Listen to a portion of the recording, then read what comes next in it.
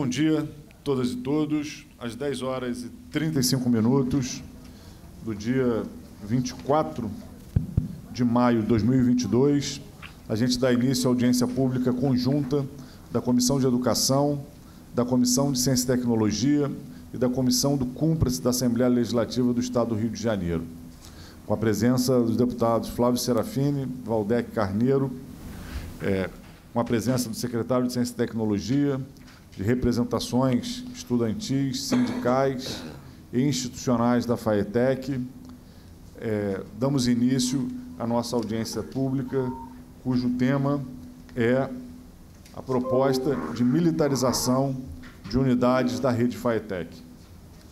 Essa é uma audiência pública é, que foi motivada pelo decreto publicado pelo governo do Estado do Rio de Janeiro, é, inicialmente prevendo a militarização das unidades da rede FAETEC e depois corrigida, prevendo a possibilidade dessa militarização. É, esse processo, obviamente, nos remeteu a uma série de dúvidas e questionamentos sobre essa proposta. Aqui no Parlamento, eu, como deputado e como presidente da Comissão de Educação da LERJ, já me posicionei diversas vezes contrário à proposta de militarização por vários motivos. Né? Motivos de natureza pedagógica, motivos de natureza democrática e motivos de natureza constitucional. A gente hoje, no Brasil, não tem nenhum tipo de estudo que sustente a proposta de escolas cívico-militares ou sustente a proposta de ampliação de unidades de caráter militar é, na rede pública de ensino. Pelo contrário, nós não temos nenhum tipo de estudo que mostre que o fato de uma escola ser militarizada ou de incorporar uma perspectiva de disciplina de forças de segurança ou de forças militares tenha resultados pedagógicos no processo de construção de conhecimento, no desenvolvimento dos nossos estudantes, que tenha efeitos favoráveis. Por outro lado, a gente tem é, algumas situações onde a gente vê que o processo de militarização das escolas tem se chocado, tem se confrontado com direitos dos estudantes, especialmente é, crianças e adolescentes, que passam a ter seu direito à identidade, seu direito à livre expressão de forma violada. Basta fazer uma procura no Google que a gente vê, por exemplo, é, que casos de racismo se verificaram em diferentes unidades escolares que adotaram o um modelo cívico-militar em diferentes estados da federação. É, a gente entende que a rede pública de ensino ela tem que ter alcance universal, civil e laico, para que possa ser frequentada por estudantes de diferentes ideologias, de diferentes identidades, de diferentes classes sociais, não podendo nunca um determinado modelo se impor às unidades escolares públicas de forma a acabar gerando discriminação, principalmente quando esse projeto não tem nenhuma forma de sustentação pedagógica que demonstre a sua relevância do ponto de vista da garantia do direito à educação das nossas crianças e adolescentes. E ao se chocar com esses direitos, né, esse projeto, na nossa avaliação, tem se mostrado como um projeto é, inconstitucional, né, que se confronta com princípios constitucionais, além de se confrontar com a LDB, que fala claramente da necessidade de gestão democrática, e além de se confrontar também com o Estatuto da Criança e do Adolescente, que fala de forma bastante clara e transparente de que toda criança e todo adolescente tem que ter o seu direito é, à identidade, o seu direito à expressão respeitados, o que não é o caso né, de muitas das unidades que adotam o modelo de escola cívico-militar. Então, a gente, é, vários deputados aqui da Assembleia Legislativa, eu, o deputado Valdec Carneiro, o deputado Carlos Mink, deputado Eleomar Coelho, deputado Jari, imediatamente após a publicação da portaria do governador que apontava para a possibilidade da militarização de escolas da rede FAETEC, apresentamos um projeto de decreto legislativo buscando sustar essa possibilidade. Além disso, é, aprovamos a realização dessa audiência pública para que a direção da FATEC, a Secretaria de Ciência e Tecnologia, pudesse esclarecer desde quais são as motivações político-pedagógicas para publicação dessa portaria, qual é o planejamento da Secretaria e da FAETEC nesse sentido, quais recursos humanos vão ser utilizados e qual o desenho que vai ser desenvolvido. Né? Lembramos que existe hoje no Brasil, duas é, no Rio de Janeiro, duas experiências em curso, uma desenvolvida pelo governo federal em parceria com algumas prefeituras e uma desenvolvida pelo próprio governo do Estado em algumas unidades da SEDUC. E a gente né, não sabe sequer qual seria exatamente o modelo desenvolvido pela FAETEC, embora nesse último, nessa última portaria, que ainda está em vigor, a previsão seja de que novas unidades possam ser abertas com esse modelo ao que parece reproduzindo o modelo do Estado do Rio de Janeiro, enquanto no modelo federal a gente tem a possibilidade da consulta à comunidade escolar e alguns critérios de vulnerabilidade como critérios balizadores da escolha dessas unidades. De qualquer forma, o nosso posicionamento é bastante claro. Né? Escola não é quartel, não tem sentido impor disciplina militar para o processo político-pedagógico. A disciplina, naturalmente, faz parte de qualquer ato educativo, de qualquer relação humana. A disciplina e o respeito estão presentes. Né? É, agora, impor uma disciplina militar né, que tem como característica um tipo de preparação para situações de confronto, para situações onde a voz de comando tem que ser uníssona para evitar tragédias maiores do que a guerra e os confrontos já estabelecem, não se justifica de forma alguma nas nossas unidades educacionais. Então, reafirmando esse nosso posicionamento de que é, escola não é quartel, a gente dá início aqui à nossa audiência pública, agradecendo mais uma vez a presença de todas e todos e passando a palavra ao deputado Valdec Carneiro, presidente da Comissão de Ciência e Tecnologia e co-presidente dessa audiência pública. Bem, muito bom dia a todas as pessoas presentes aqui no auditório do 18º andar da sede da LERJ, assim como presente também é, virtualmente através é, da plataforma digital. É, felizmente agora com a superação do equívoco inicial da troca dos links. É, deputado Flávio Serafini, representações de segmentos da FAETEC aqui, aqui participando já da audiência, é, o subsecretário de Ciência e Tecnologia e Inovação do Estado do Rio de Janeiro. É, é, eu queria também fazer uma introdução muito breve a esta audiência pública conjunta dessas três comissões citadas, a Comissão de Educação, a Comissão de Ciência e Tecnologia e a Comissão do Cumpras. Aproveito para é, dizer que o deputado Carlos Minks já está em trânsito rumo aqui à audiência, teve um compromisso é, de última hora, um imprevisto, mas me telefonou hoje cedo já relatando e pedindo que eu comunicasse ao Flávio que chegaria com, com um pouco de atraso, mas viria à audiência. Ele, inclusive, é, é ao, ao, nosso lado é um dos idealizadores da audiência, assim como é, coautor é, do projeto de decreto legislativo que pressupõe, enfim, a interrupção dos efeitos né, é, do decreto do governador. Ora, de maneira muito breve, muito sucinta, e a introdução do Flávio já, já me contempla em boa medida, é, nós estamos tratando de uma proposta, antes de mais nada, sem entrar no seu mérito, uma proposta que foi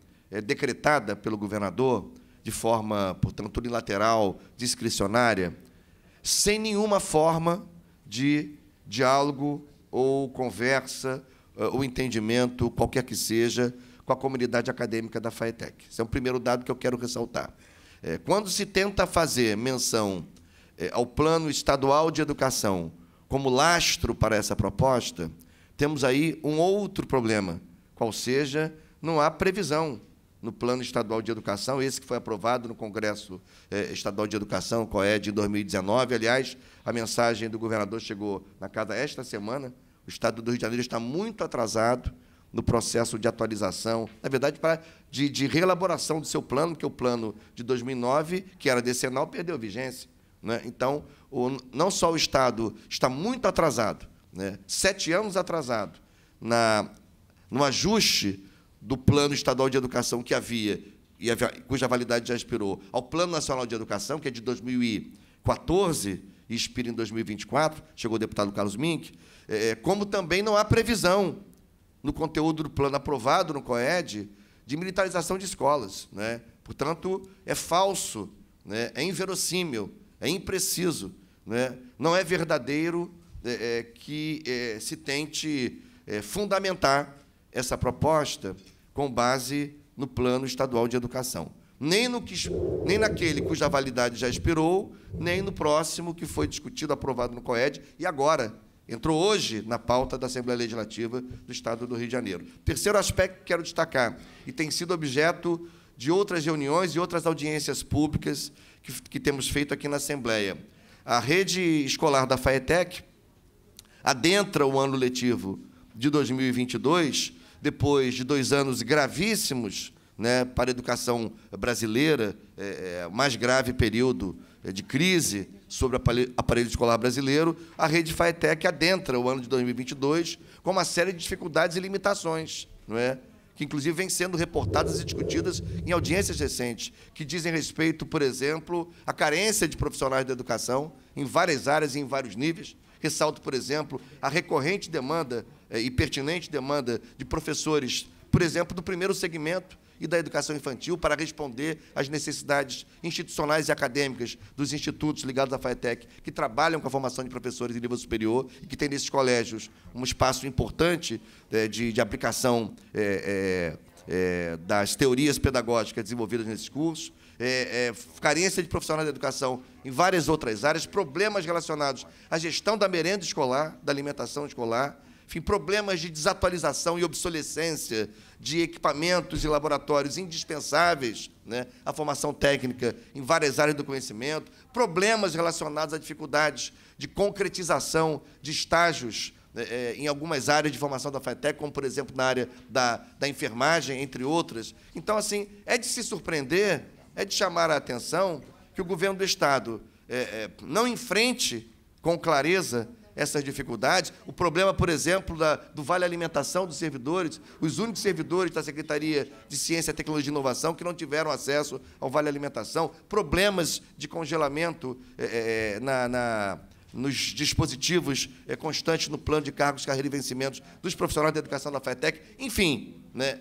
Então, é de se surpreender que, é, a despeito de toda essa gama de dificuldades, e problemas é, é, que eu mencionei aqui, sumariamente, que o governo se interesse é, por uma outra prioridade, sem discutir com ninguém, sem conversar com ninguém, totalmente fora do escopo é, das agendas e temas e discussões que temos feito sobre a FATEC.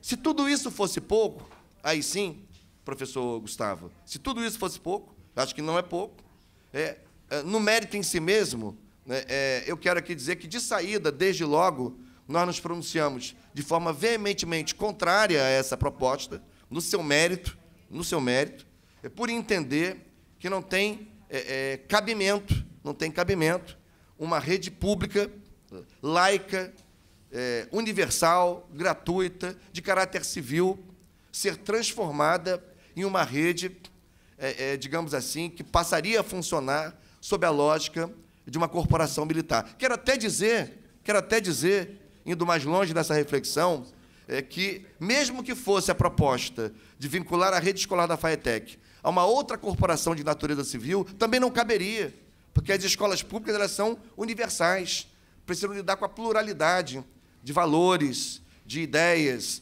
enfim, de princípios. Né? Essa pluralidade é que caracteriza essa dimensão universal da escola pública e das redes públicas. Portanto, se uma rede pública fica aprisionada aos ritos, às liturgias, às padronizações, adstritas a uma corporação, civil ou militar, pouco importa, isso é uma distorção muito grande na essência de uma rede pública de educação. Portanto, não tem cabimento, e menos ainda tem cabimento, é uma, uma suposta tentativa de demonstrar que é, é, existe um, um, um, padrão de qualidade que se acentua das escolas públicas militares, enfim. Eu não quero com isso dizer é, é, é, que desconheço é, instituições é, de caráter militar, sabe, pessoal, que existem no contexto da educação brasileira há muito tempo, né? algumas são seculares ou mais. Né? Eu quero aqui lembrar, por exemplo, do Instituto Tecnológico da Aeronáutica, quero aqui lembrar, por exemplo, da, da, da, da do Instituto de Matemática do Exército, IME, enfim. Então, eu não, eu não desconheço a presença de certas instituições de caráter militar que têm o seu lugar né, no contexto mais geral da educação brasileira.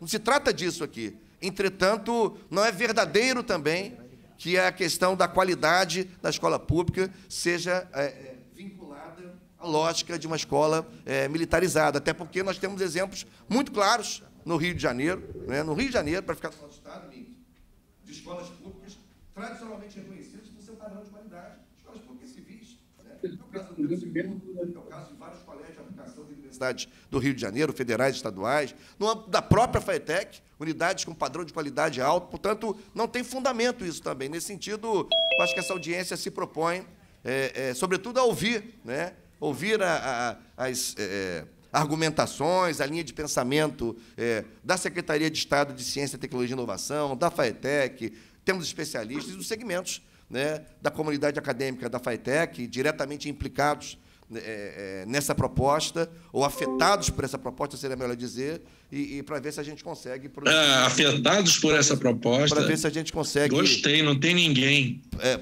para ver se a gente consegue. Robson, por favor, é, poderia fechar o seu microfone momentaneamente? Obrigado. É, para que a gente pudesse produzir alguma, alguma proposta factível para superar esse impasse. Trata-se de um impasse, na minha opinião. A FAETEC tem uma linha de prioridades muito importantes que não estão equacionadas. Não me parece o caso de abrir o flanco sem fundamento, sem lastro e sem discussão, desprovido de cabimento, na minha opinião, é, como seria o caso de, é, da militarização das escolas da rede FATEC. É isso, deputado Flávio Serafini. É uma locução que já se alongou um pouco, mas queria fazer essa introdução com modesta contribuição à audiência. Eu fiz, fiz circular um artigo, um artigo de opinião que eu publiquei recentemente sobre o tema, está circulando por aí, é mais uma contribuição ao nosso debate. Obrigado, deputado Valdec. Passa a palavra ao deputado Carlos Mink, também co-presidente dessa audiência pública, presidente da comissão do Cumpra-se.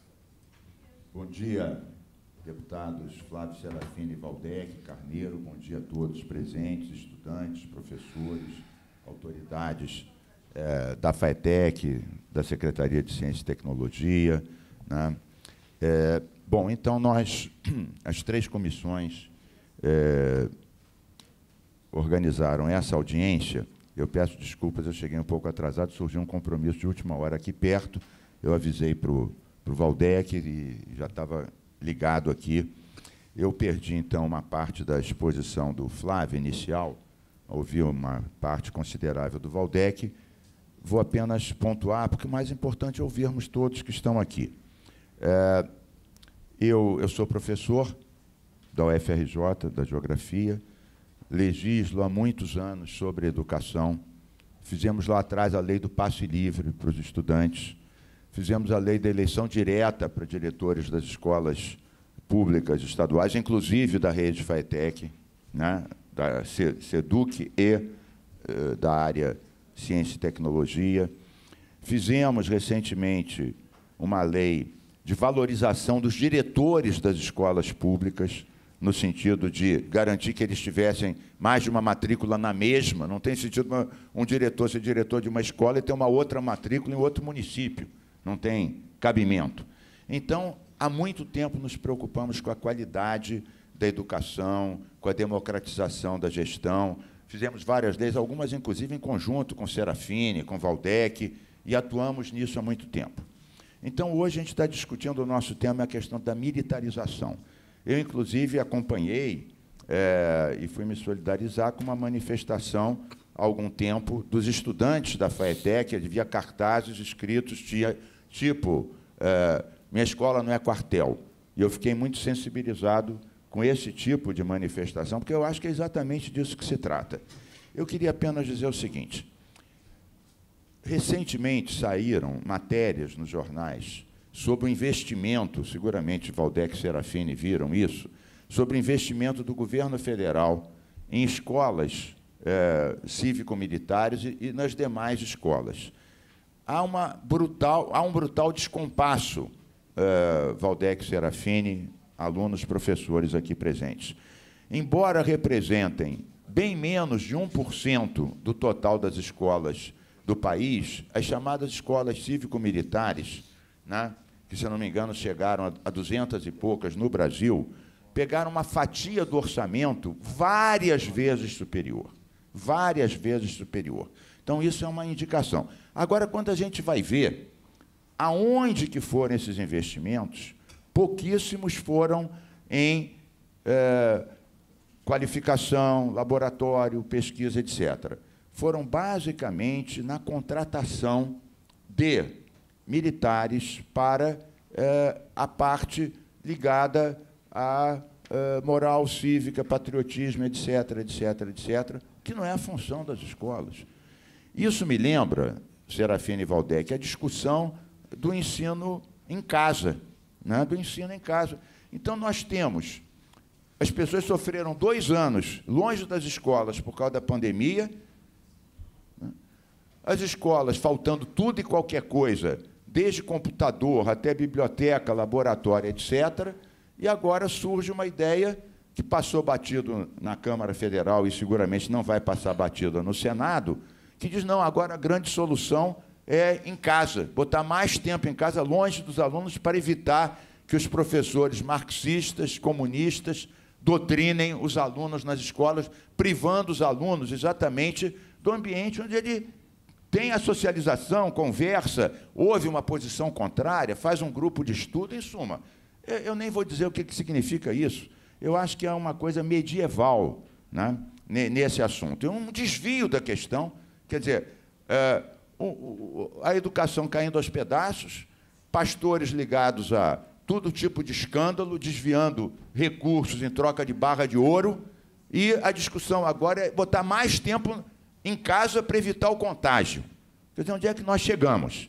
E eu vejo que a questão da militarização está exatamente nesse sentido. Nós apresentamos uma, um projeto é, de decreto legislativo conjunto, né? É, inclusive com outros deputados e deputadas, mas encabeçado aqui pelo Serafine, pelo Valdec, por mim, pelas deputadas também é, do PSOL e de outros, outros partidos. Estão aqui também o, o Jari, o Eliomar e as deputadas do PSOL, a Renata, a Dani e a Mônica Francisco, no sentido de cancelar esse decreto. Um decreto legislativo pode ser, um decreto do governador pode ser sustado por um é, decreto legislativo. E a discussão é muito importante. Nós aqui Inclusive, aprovamos recentemente uma lei derrotando os bolsonaristas aqui, que é a escola sem mordaça. Essa lei está em vigor no Rio de Janeiro. Inclusive, o governador sancionou, depois o presidente Bolsonaro ligou para ele, ele quis vetar a lei, mas não podia vetar porque já estava publicado. E o que é a escola sem mordaça, em duas palavras, para não sair do nosso tema? É exatamente o contrário da chamada escola sem partido, que é a escola sem liberdade. Essa lei proíbe um professor ser filmado sem a sua prévia autorização escrita, proíbe alguém ser punido porque falou de tortura, ditadura, Amazônia, escravismo, etc. Proíbe alguém ser perseguido por usar livros de um tipo ou de outro, que cada um eh, disponha da sua. É, é, é, dos seus livros, das suas, e que os alunos, no contraditório, formem suas próprias opiniões, como deve ser numa sociedade democrática. Então, aprovamos essa lei, que é lei no Estado do Rio de Janeiro. Né? Inclusive, um deputado entrou com um projeto, não sei se vocês viram, tentando cancelar essa lei. Tentando cancelar essa lei, não vai conseguir. Então, no Rio de Janeiro, é, a escola é sem mordaço, e vale para todas as escolas, tanto da rede Seduc quanto da rede FAETEC.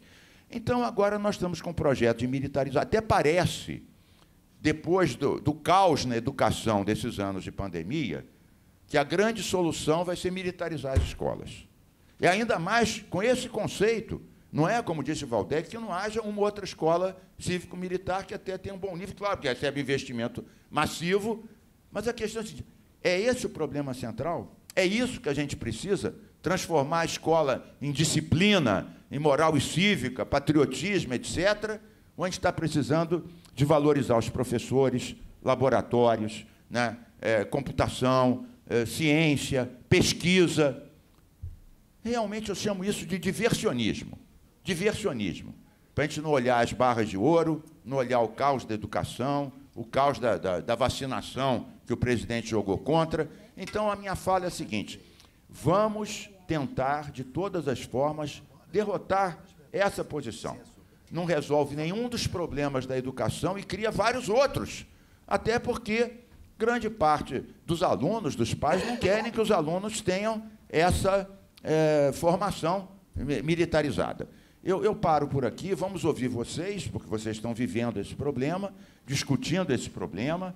Então, os professores, os alunos, e também entender dos dirigentes da secretaria e da própria FAETEC é, como é que estão vendo isso, o porquê desse projeto, que recursos terão e por que isso melhoraria a qualidade da educação, a qualidade do ensino, da pesquisa. Então, realmente, eu confesso que eu estou revoltado com isso, revoltado. Como, falo como professor, como educador, como pesquisador, orientei teses de mestrado e de doutorado, então eu sei do que eu estou falando. Então a gente precisa de mais pesquisa, mais ciência, mais laboratório e menos militarização. Então essa é a minha posição. Desculpe aqui que eu me estendi, porque eu fico até é, indignado, tanto que eu acabo falando de outros assuntos, mas essa é a nossa posição. Obrigado, Mink. Na verdade, assim, todos nós, eu acho que nos comovemos com esse debate, falamos um pouquinho demais. Então vamos ser rápidos aqui para poder Isso. ouvir todos os nossos convidados. Como a gente está numa audiência híbrida, e com bastantes convidados, a mesa está composta já de uma forma né, descentralizada, digamos assim, uma mesa aqui na frente com alguns dos nossos convidados, uma mesa virtual. É, e a gente vai coordenando daqui, porque quando vocês forem fazer uso da palavra, eu não sei se vai ter que sentar aqui na. Ah, vai ter um microfone sem fio um microfone. que vai poder circular. É, nós vamos começar é, passando a palavra para os representantes da, ciência, da Secretaria de Ciência e Tecnologia, o subsecretário de Ciência e Tecnologia, o professor Edgar Leite para que ele possa né, é, fazer a exposição de como esse projeto está inserido dentro da proposta educacional do governo. Bom dia, professor Edgar, obrigado pela presença, a palavra é sua. A gente pede aí uma referência ao redor de cinco a seis minutos, para que a gente possa ter, garantir o número total de falas, tá bom? Obrigado pela presença. É, bom dia, deputados, né, deputado Serafim, deputado Valdec, é, deputado Carlos Mink, é uma grande honra estar aqui nessa audiência pública, onde nós é, prestamos esclarecimentos ao povo das atitudes e das decisões que são tomadas do ponto de vista é, pedagógico né, pelo Estado, por essa secretaria, no que diz respeito às escolas cívico-militares. Eu acho que está havendo aqui um certo é, não entendimento do que vem a ser as escolas cívico-militares. É, o compromisso com a pluralidade, o compromisso com o caráter democrático do sistema educacional, o compromisso com o caráter formativo cidadão da escola, esse é um compromisso constitucional ao qual todo gestor público deve se submeter. É, em nenhum momento é, se falou ou se pretende uma militarização das escolas. Né? Não é isso do que se trata aqui. Né? Não, não se pretende aqui criar uma escola como, por exemplo, a escola de, de formação de cadetes do Exército ou a Academia Militar de Agulhas Negras. Não há um regime militar nas escolas, e nem uma, uma internação militar. Né? A proposta da formação de uma escola cívico-militar, na verdade, é uma coisa bastante conhecida por todos aqueles que já estudaram em períodos anteriores, né, nos anos 70, nos anos 80.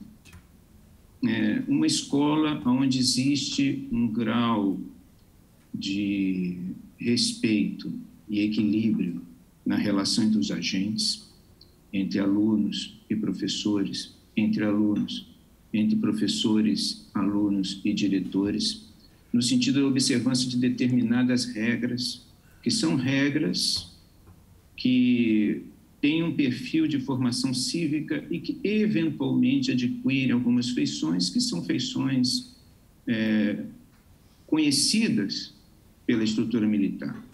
É, eu gostaria de ler aqui o parecer a nota técnica, pelo menos um parágrafo da nota técnica que sustentou esse, essa proposta, ela diz o seguinte: um ambiente escolar pautado pelo reconhecimento. Sinto muito. Eu não consigo.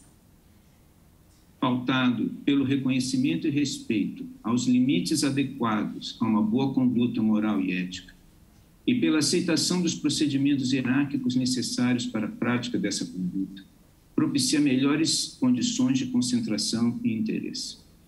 Você respeita o professor né, e presta e foca. Isso é uma coisa muito importante, considerando o grau de descrédito, desprestígio do magistério hoje em dia fornece elementos consistentes para uma conduta centrada não exclusivamente nos interesses pessoais, mas no respeito ao bem comum e a objetivos gerais. Respeito esse essencial para a correta apreensão dos conhecimentos e para a estabilidade da relação professor-aluno e outros movimentos de aprendizagem que valorizam o estudo, mas também a experiência. Quando eu era criança, por exemplo, era comum que as crianças se formassem no pátio da escola, era comum que fosse hasteada a bandeira nacional e existisse um, uma comissão da bandeira. Né?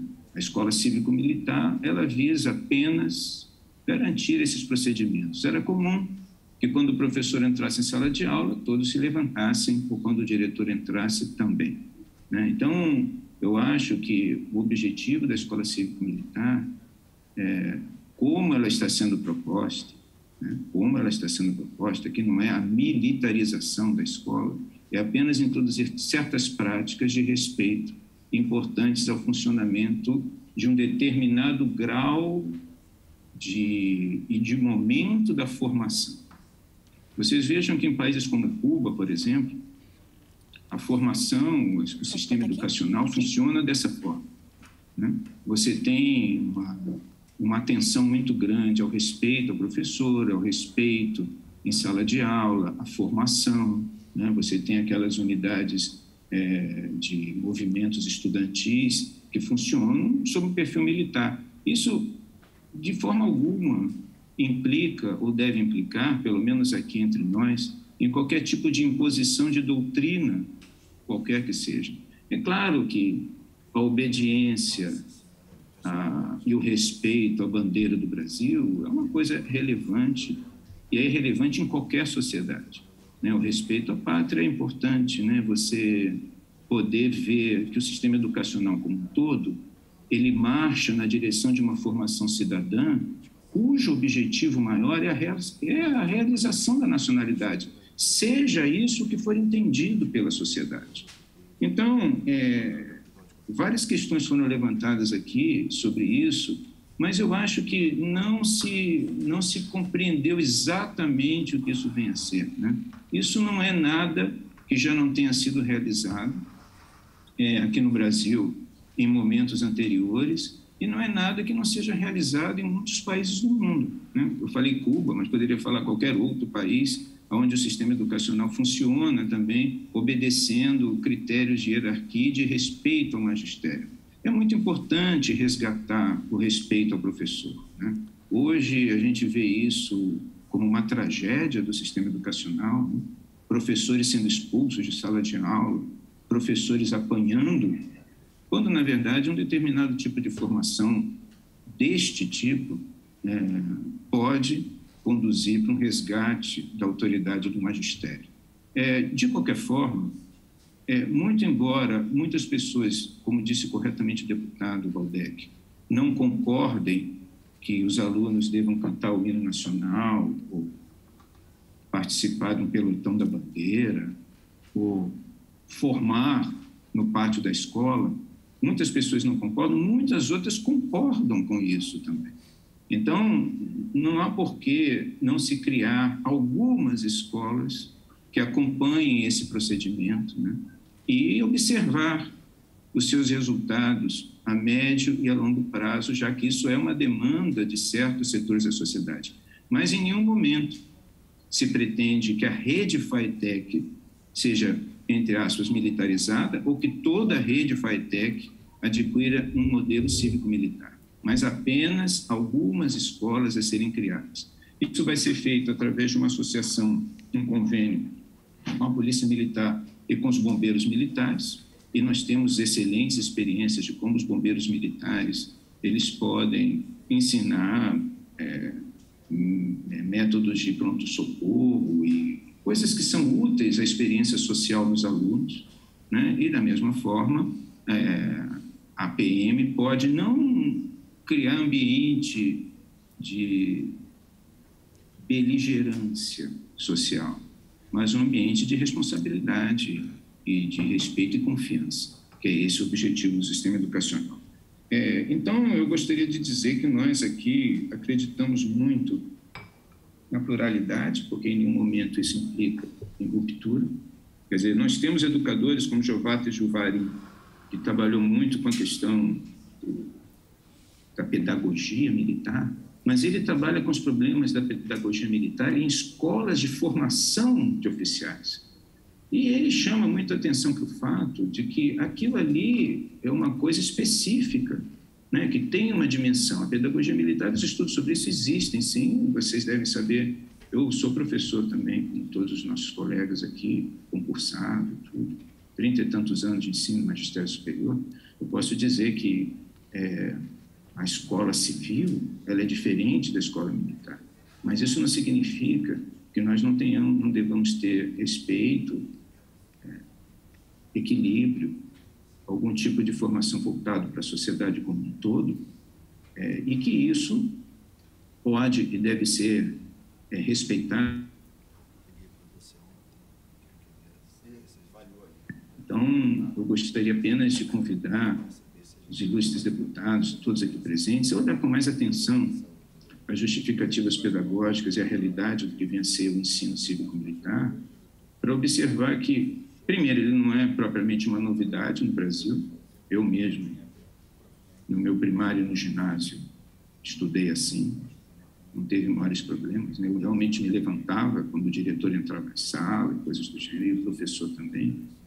Não acho que isso tenha, de qualquer forma, inibido o meu pensamento ou gerado em mim qualquer tipo de outro pensamento que não seja o de dar a máxima atenção e respeito ao sistema educacional.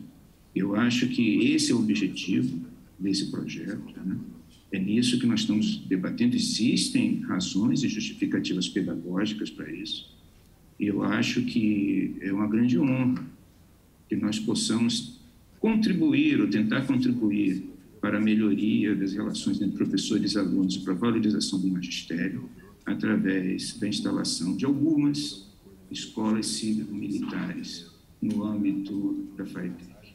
Então, agradeço muito a todos aqui presentes, né? e eu acho que essa, essa audiência pública é muito importante para que a gente possa esclarecer né, o que está acontecendo. Obrigado. Obrigado, professor Edgar. Como já nos dizia Voltaire, né? É, defesa da democracia é a gente discordar completamente do outro e defender o seu direito, defender a sua posição. Agora, diante da sua fala, eu me sinto dessa forma. É, destaco que é, a presidência da FAETEC apontou a dificuldade do vice-presidente de ensino participar aqui dessa nossa audiência, mas, é, o que parece, o vice-presidente administrativo, o Carlos Rogério, pôde participar. O Carlos Rogério está aqui conosco? Não? Ah, está aqui, está presencialmente. Pode usar o microfone sem fio. Obrigado pela presença. Bom dia. Muito obrigado. Excelência.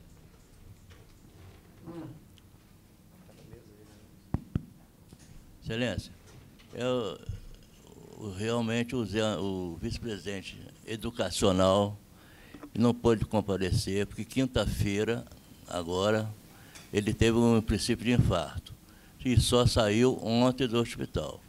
Então, gostaria que, que ele podia explanar para Vossas Excelências o, o problema eh, da FAETEC. Então, pediria que houvesse uma outra, uma segunda audiência, que ele pudesse vir aqui explanar o problema, eh, tirar as dúvidas né, de todos presentes. Ok. A gente vai dar continuidade a esse debate. Né? O fato de ter sido através de um decreto do governador, justamente acabou reduzindo o espaço de debate, que a gente gostaria que esse, esse tipo de mudança na rede tão estruturante fosse fruto do debate com a participação da comunidade. Mas aqui da nossa parte pode ter certeza que a gente vai ter um novo espaço para que o vice-presidente de Assuntos Educacionais da FAETEC possa estar conosco e ajudar a aprofundar esse debate. Agradeço. Queria acrescentar, deputado Flávio, dirigindo aqui ao vice-presidente Carlos Rogério Potes de Oliveira, cuja presença agradeço. Primeiro, evidentemente, os nossos votos de pronta recuperação ao vice-presidente educacional, tem estado conosco aqui, esteve conosco nas duas últimas audiências. Portanto, desejamos que se recupere o mais prontamente possível. E, e além disso, seria importante se a própria FAETEC, é, é, independentemente das iniciativas aqui do Parlamento, ela mesma, pudesse abrir um processo de discussão é, sobre essa pauta com as suas unidades escolares, com a sua comunidade educacional, porque um tema como esse, entende, entende senhor vice-presidente, sem nenhuma, é, sem nenhuma construção prévia, MIC, sem nenhum diálogo, sem nenhuma conversa, não é? enfim, FATEC enfrentando vários problemas cotidianos, como Vossa Senhoria sabe provavelmente melhor do que eu. Então, assim, eu sugeriria, muito modestamente, que, independentemente das iniciativas que o Parlamento vai continuar tomando sobre esse tema, e teremos uma outra rodada, certamente, com a presença do vice-presidente educacional, mas que a própria FEITEC, né, é, no diálogo com a sua comunidade educacional, abrisse né, um flanco de diálogo, já que o governador quis instituir esse programa por decreto, né, que a instituição educacional, né, em nome do princípio da gestão democrática da escola pública, da educação pública, pudesse, é, ela mesma também ter iniciativas no sentido de abrir um pouco mais essa cortina e discutir com a comunidade educacional que anseia um debate é, para se posicionar. Então, deixar aqui essa consideração, reforçando, porém, a ênfase nos nossos, nossos votos aqui dos três, de pronta recuperação ao vice-presidente educacional. Rapidamente aqui, Serafine Valdec, mas na mesma linha e respondendo, nós recebemos ontem um pedido do vice-diretor, eh, o vice-presidente, vice-presidente, falando do problema de saúde, que Vossa Excelência agora precisou, e pedindo a, a, o adiamento dessa reunião. Bom, foi ontem, na véspera, as pessoas já estavam convocadas, várias autoridades, estudantes, professores, então nós respondemos em conjunto desejando a pronta recuperação dele e dizendo que era absolutamente impossível, na véspera, cancelar uma reunião que várias autoridades e representações já tinham confirmado. Né? E que já nesta eh, nota de resposta, ontem mesmo, que nós três enviamos, nós dissemos na linha de que, do que Vossa Excelência falou aqui, que eh, poderia ser, sim, marcada uma outra audiência. Mas o último ponto, e só para reforçar o que disse o deputado Valdec e o deputado Serafini. O deputado Serafini disse que seria muito melhor ter apresentado através de um projeto de lei, que aí discutiríamos nas comissões, aperfeiçoaríamos. Nós aprovamos várias, nós somos deputados de oposição, aprovamos várias mensagens com modificações sugeridas que aperfeiçoaram. Né? Outra coisa, isso disse o, o Serafini, que o decreto não é razoável para uma coisa dessa monta. E o Valdec acrescentou um outro ponto. Nós criamos né, é, vários mecanismos de consulta interna nas escolas. Né? Os conselhos escolares é lei, a gestão democrática é lei, a eleição dos diretores é lei. Então, isso veio da forma de um cometa que nem passou pela discussão do parlamento, como acentuou Serafine, nem passou, aparentemente, pelas discussões nos órgãos internos das escolas da FAETEC. Então, a pergunta é de onde é que veio isso? Se não passou pelo parlamento, nem pelo. Então, o que, adianta fazer uma lei de gestão democrática das escolas? Nós fizemos várias, os conselhos, a eleição direta, a gestão democrática. Uma coisa dessa monta sequer é discutida antes. Então, fica aqui a nossa posição, sempre é, pela democracia. Obrigado, deputado Carlos Mink. Vamos agora, então, ser objetivos, breves, chamando aí o nosso conjunto de convidados. Eu gostaria de chamar, então, eu vou mesclando né, convidados né, que são convidados do campo educacional, né, que nos fomentam com alguns debates, com representantes da comunidade da FAETEC, das entidades estudantis, para ir garantindo o direito à participação de todos os atores. Então, eu começo aqui é, convidando para fazer uso da palavra o professor Luiz Edmundo Aguiar, que é um dos nossos convidados. Obrigado pela presença, professor. Bom, bom dia, deputado Serafini, bom dia, Valdec, bom dia, meu querido Carlos Mink. É um prazer estar aqui com vocês, bom dia a todos e todos. Primeiro, eu quero pedir desculpa que eu estou num ambiente muito barulhento, que hoje não sei porquê, aqui resolveram fazer uma obra aqui em cima de mim. Então, isso talvez possa atrapalhar um pouco aqui a, a, a audição. Quanto tempo eu tenho, Serafini, por favor? Cinco minutos, cinco a seis minutos. Quase que só dá para gritar uma palavra de ordem, né?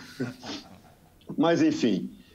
Bom, senhores, eu, eu trabalho em educação profissional há exatos 44 anos. Eu fui reitor do Instituto Federal do Rio de Janeiro, fui diretor do Cefet Química de Nilópolis. É, tive a oportunidade de trabalhar no plano de expansão da educação profissional da rede federal e fui professor da rede estadual durante muitos anos e também da rede privada. É, então, me sinto bastante à vontade para falar um pouco desse tema. Essa proposta que surge agora, deputado Serafini, amigos e amigas, ela não vem do nada. É claro que hoje nós temos em marcha um processo de tentativa de desconstrução dos valores democráticos que a gente construiu ao longo de anos na educação brasileira. Eu quero lembrar que por exemplo, para se falar apenas da educação profissional, esses valores eles estão consagrados desde a fundação oficial da educação profissional no Brasil, lá em 1909, quando Nilo Peçanha criou as primeiras 19 escolas técnicas, uma em cada estado, que naquela, naquela ocasião a, a, nós só tínhamos apenas 19 unidades na federação, em que eram escolas para atendimento aos filhos dos desvalidos da fortuna, conforme está no texto da lei, e com amplos direitos para que é, essas pessoas pudessem cursar e fazer dali o seu projeto de formação. Vejam que um projeto como esse, de tentativa de restringir liberdades internas das nossas escolas, nem a ditadura militar o fez quando, por exemplo, editou a Lei 5692, que massificou a educação profissional de forma horizontal em todo o país, de forma equivocada, porque criavam-se escolas em locais absolutamente precários e com cursos que não tinham nada a ver com os arranjos produtivos locais e arranjos produtivos culturais, mas que nem ela teve a coragem de impor um projeto de escolas cívico-militares.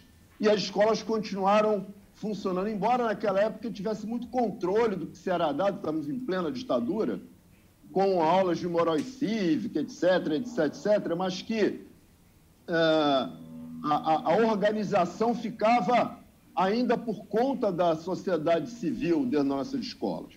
E nós estamos tratando de um assunto dentro de um Estado que é um Estado de muita referência para esse processo. É um Estado em que nós tivemos uma figura como Darcy Ribeiro, que tentou implementar um, um modelo de educação e, e, e, que foi muito bem absorvi, absor, absorvido pelas nossas, pelos nossos dirigentes, pela nossa comunidade acadêmica é, de um modo geral. Lembra aqui que nós tivemos secretários de educação aqui, como a professora Lia, né, hoje professora da Universidade do Estado do Rio de Janeiro, é, tivemos a figura da professora Terezinha como presidente da FAETEC, muito vinculadas a, essa, a, esse, a, a, a esse projeto democrático de se é, gestar a educação.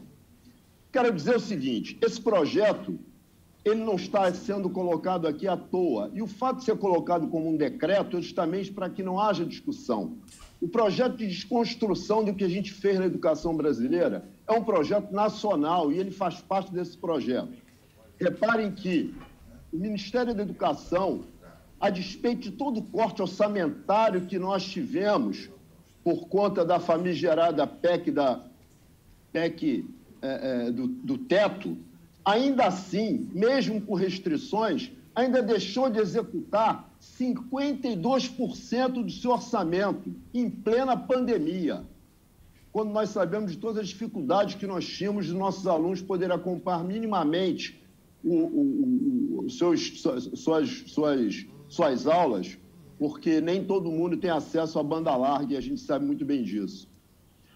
Vejam que hoje na CCJ, não é à toa que está sendo votado eu vou até pegar aqui o número, a PEC 206 de 2019, que é do general Peternelli, que acaba com a gratuidade nas nossas universidades públicas, que são um baluarte da democracia brasileira e da pesquisa da ciência e tecnologia e dos avanços que a gente obteve. Então, isso tudo, Carlos Mink, está dentro de um grande pacote de tentativa de restringir o pensamento dentro das nossas instituições. É falso dizer, me desculpem aqui, é falso dizer que nós precisamos de militares nas nossas escolas para impor disciplina. Porque disciplina não se impõe, respeito não se impõe, respeito se conquista porque o, respeito que é imposto, ele é frágil e ele é facilmente derrubado em determinadas ocasiões. O respeito tem que ser conquistado. E a gente conquista isso quando a gente tem debate dentro das nossas instituições, quando a gente tem respeito à pluralidade dentro das nossas instituições. Vocês imaginam uma escola com disciplina militar, o que, que vai se fazer com a discussão sobre política de gêneros? O que, que vai se fazer sobre a discussão da política racial? O que, que vai se fazer sobre a discussão da liberdade religiosa? Como é que se lida com isso? Porque a escola não é só um monte de tijolo onde se coloca uma série de conteúdos. A escola é construção, como dizia Paulo Freire. Ela estabelece uma relação dialética com a sociedade. E os nossos militares, que nos últimos, nos últimos 50 anos foram, foram treinados nos manuais da escola, da, da, da da escola americana não sabem, não sabem o que é isso. Não sabem o que é isso. Eu tenho pena dos companheiros que, muitas vezes civis, que dão aula nas escolas militares, a gente sabe ao que, que eles são submetidos. E todos os dias a gente tem, tem é, a gente comenta, é, tem sido procurado para comentar sobre isso. E não é esse modelo que nos interessa, sem sombra de dúvida. Nós queremos escolas livres, nós queremos escolas que tenham debate, nós queremos escolas que, que realmente elas possam dialogar com o conjunto da sociedade. E é isso que a gente faz. Tem um grande exemplo, os institutos federais que foram criados em, 2000, em 2008, através da Lei 11.892, que colocou uma participação direta da sociedade onde acabamos com a lista tríplice para eleição de reitor, por exemplo, coisa que nem a universidade não conseguiu conquistar, e por, que é extremamente importante, que hoje nós temos na presidência da República um cidadão que não respeita sequer a lista tríplice, mas nos institutos federais nós conquistamos a liberdade de eleger e de forma paritária, onde servidores técnicos administrativos, docentes e, a, e estudantes participam efetivamente. Nos nossos conselhos superiores, tem a presença, sim, das do, dos representantes patronais e governamentais, mas nós temos a presença também das centrais sindicais, porque ouvir os trabalhadores é uma um comunidade. Então é fundamental que essa escola, que foi pregoada por Paulo Freire, que foi por Anísio Teixeira e por Daci Ribeiro, seja valorizada. Isso é uma conquista que o mundo inteiro não teve. O mundo inteiro não teve pensadores como nós tivemos e que são valorizados por todos os países democráticos que existem nesse, nesse, nesse mundo. E aqui se faz de tudo para tentar violar essa conquista histórica, não só da educação, mas da sociedade brasileira. Então é um crime que tenta se fazer. E eu faço aqui um chamamento à comunidade da FATEC, como muito bem aqui foi dito. É importante que a comunidade da FATEC se organize e que lute pelo, pelo, pelo direito a, pelo menos, discutir esse projeto que tanto nos afeta porque hoje vai ser a FATEC, e atenção, Sociedade, Brasil, Sociedade do Rio de Janeiro, hoje vai ser a FATEC, amanhã serão todas as nossas escolas, que isso é um grande sonho, para manter controlado. O fascismo faz isso, ele trabalha na desconstrução da cultura, ele, ele trabalha na desconstrução da cultura democrática, para poder conseguir se impor. E o que a gente está aqui, como lamentavelmente falou aqui o secretário, não é a busca de uma tentativa de impor uma disciplina, mas sim de conquistar o respeito das pessoas construindo efetivamente um projeto político democrático para a educação brasileira. Muito obrigado. Muito obrigado, professor. Chamo agora para fazer uso da palavra, é, representando é, o Sindip Faetec, Sheila Monayar Conde. Obrigado pela presença. Peço, por favor, que passe aqui o telefone sem fio para Sheila, aqui na primeira fila. Obrigado, bom dia. Bom dia a todos.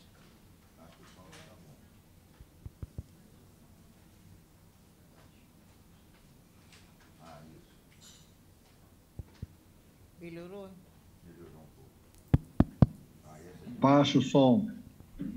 É, eu queria iniciar é, respondendo ao que o subsecretário falou em termos de respeito do, dos anos 70 e também respeito quando se levant, nós nos levantávamos quando o professor ou diretor entrava em sala.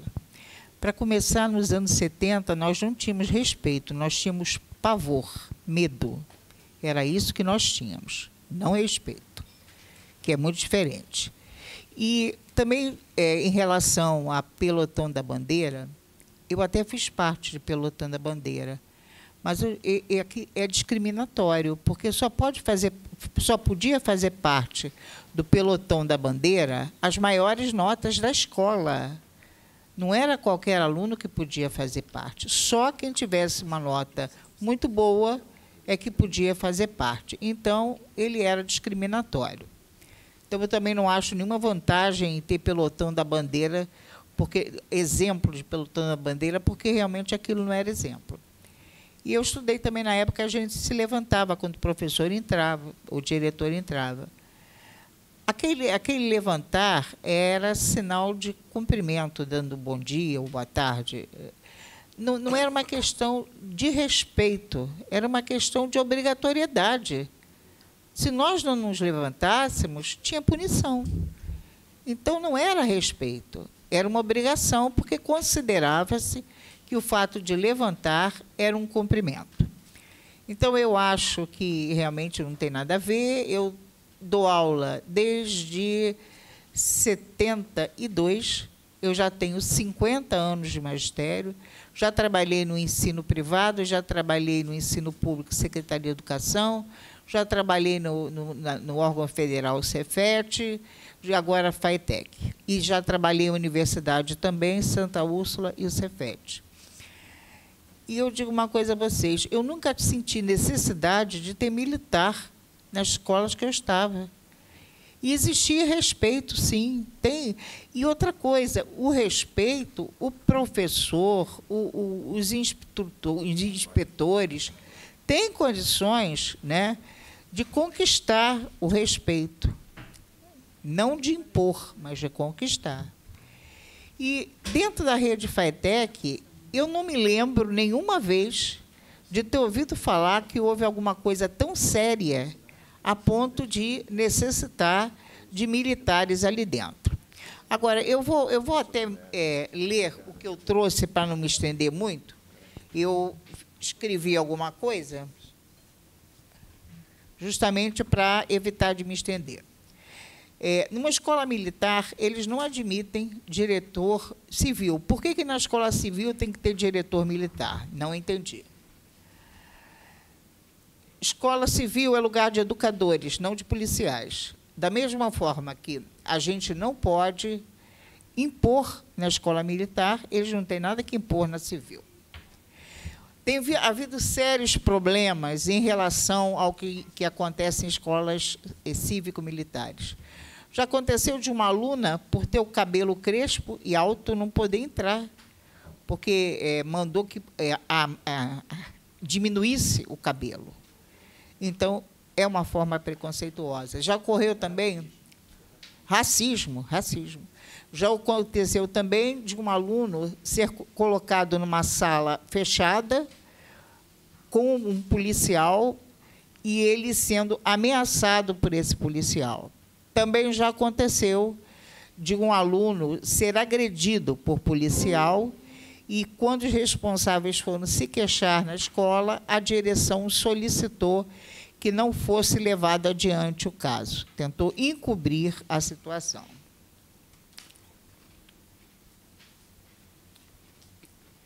Também essa comparação que se faz em relação às escolas eh, militares, escolas civis, isso é uma coisa sem fundamento. Bom, primeiro porque nessas escolas eh, cívico-militares, os militares ganham mais do que professores. O salário é maior, né? E outra coisa, comparação, as escolas militares, elas são regidas por tabelas federais. São todos com a mesma tabela. Na cívico-militar, não. O salário é muito diferente, o plano de carreira é diferente, enfim. Está se tentando colocar uma coisa como boa e, na realidade, não querem dar os bens que as outras têm. Também o poder aquisitivo. O poder aquisitivo de alunos de escolas militares é muito maior do que as escolas da rede do Estado, ou FATEC. Não há comparação, porque nas escolas militares, normalmente, eles são filhos de militares, na maioria, e os outros que entram, entram por processo seletivo, em que os pais têm que ter condições de pagar é, é, cursos para que eles consigam. Então, não tem nem como pensar em comparar uma coisa com a outra.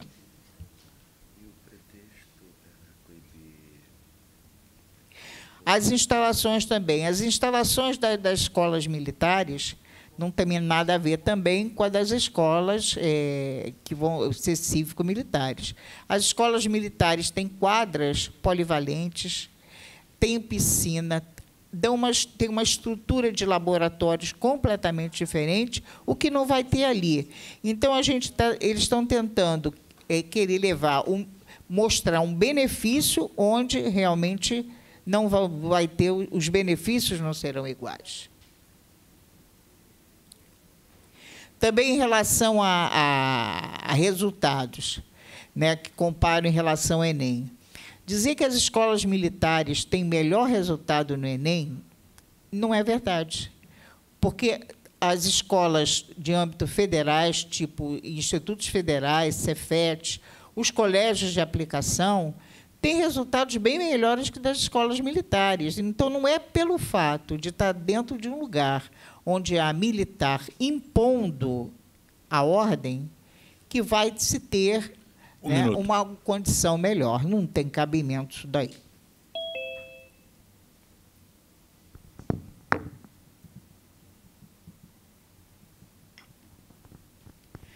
Bom, na rede FAITEC, a gente tem alunos, havia mais ou menos 25 anos, né, que tem a FAITEC, e nós temos formado alunos que são bem vistos aqui no Brasil e fora do Brasil. Tem alunos da rede FAITEC que vão expor trabalhos fora do Brasil, como já aconteceu.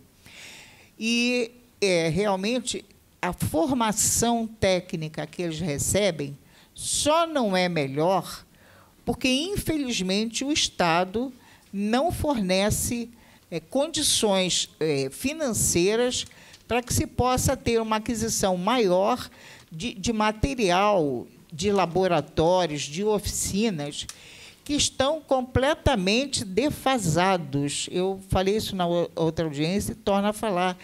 É impossível um aluno que saia de, de, um, de uma escola é, técnica, ele vai para o mundo do trabalho, dependendo da empresa em que ele vai trabalhar, ele chega lá, vai encontrar uns equipamentos que ele nunca viu na vida e não sabe o que fazer com aquilo. Então, não é que tenha que ter todos os tipos de equipamentos é, é automáticos, né? Não, mas tem que ter alguma coisa para que ele, pelo menos, depois tenha condições, já tendo visto alguma coisa, de conseguir re, é, pegar um outro equipamento e saber usar. Então, falta esse investimento. E se falta esse investimento, não tem porquê né, é, criar out, outras escolas, né, pegar todo o investimento imenso, fazer escola e deixar essas escolas à míngua como está. Então, não tem o menor cabimento. Concluindo, por favor. Também há falta de debate, consulta à sociedade sobre a criação dessas unidades, pois as escolas cívico-militares não estão previsto, previstas na Constituição Estadual e nem da LBV, configurando um desvio de finalidade. O problema da educação pública no país não está no controle da disciplina dos alunos. Isso expressa o preconceito em relação à população pobre e periférica que frequentam as escolas públicas. Isso representa a visão de uma elite que quer tentar eh, solucionar, tentar solucionar problemas sociais, como caso de polícia. Os problemas da educação pública do Estado são fabricados pelo próprio governo, que promove sistematicamente um desinvestimento da educação, que congela salários, não realiza concurso para preenchimento e carência de pessoal e não promove a melhoria das condições gerais de ensino com laboratórios, bibliotecas, merendas e outros. Muito obrigada. Obrigado, Sheila. Chamo para fazer uso da palavra agora o doutor Rodrigo Azambuja, da Defensoria Pública do Estado do Rio de Janeiro. Bom dia a todas e todos. Faço uma saudação especial ao presidente Flávio Serafini, Valdec Carneiro e Carlos Mink. É, eu me senti muito contemplado com as duas falas que me antecederam. É, não sou educador, então vou me abster de comentar sobre aspectos pedagógicos da proposta das escolas cívico-militares, se essa é uma prioridade ou não para os alunos da rede FITEC e para garantia de um padrão de qualidade do ensino que é ofertado a eles. Eu queria, Flávio, Valdec e Mink, e também ao subsecretário Edgar, é, explanar algumas é, inseguranças jurídicas que esse modelo é, acarreta e acarreta especificamente para o ensino técnico profissionalizante oferecido na rede FITEC. É, quando um projeto de lei de 2009, de 2019 foi proposto e apresentado à LERJ, o Ministério Público do Estado do Rio de Janeiro apresentou uma nota técnica por intermédio do seu centro de apoio às promotorias de educação. E esse projeto não se referir especificamente à FITEC, né?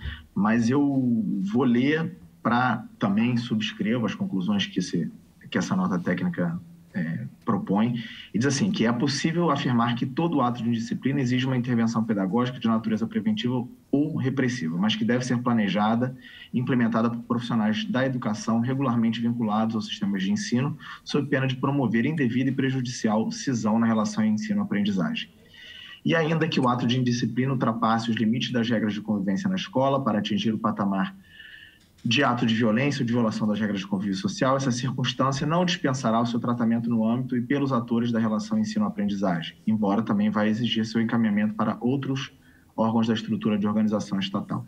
Desse modo, é possível vislumbrar que a concessão da gestão disciplinar das unidades cívicos militares a órgãos militares ou de segurança pública e a seus servidores, promovida pelo então projeto de lei 1667 de 2019, representa, sem sombra de dúvidas, usurpação indevida das funções próprias conferidas aos profissionais de, de, educação. E aí, diante de tudo foi exposto, conclui pela inconstitucionalidade formal e material de conferir forças militares funções próprias dos profissionais de educação, regularmente vinculados ao sistema estadual de ensino e à rede pública estadual, promovendo fracionamento indevido das dimensões da gestão educacional, com clara interferência na relação ensino-aprendizagem. Então, assim, é, nós também comungamos desse entendimento do Ministério Público, no sentido da inconstitucionalidade desse modelo, e queria acrescentar um outro documento, que já foi, inclusive, é, percebido pela Procuradoria do Estado quando foi instada a se manifestar sobre essa minuta de decreto, Flávio. E eles diziam que esse modelo né, de escolas cívicos militares não tem nenhum paralelo é, nacional, modelo nacional que foi é, pensado lá pelo decreto que criou o PSIM, porque eles ficavam né, só nas escolas de ensino fundamental e médio e, portanto, não eram aplicadas aí a, a, as escolas técnicas. Isso me leva também a, a, a uma outra indagação se é possível que o Estado-membro né, fuja um pouco dessas diretrizes nacionais que foram estabelecidas pela União e invente e inove para é, criar nas escolas da rede FITEC esse modelo cívico-militar que, como eu disse, e a própria PGE reconhece, não há é, paralelo ou similar no modelo nacional, o que também é, poderia ensejar aí uma inconstitucionalidade, porque dispor sobre diretrizes e bases da educação nacional compete à União e não aos Estados.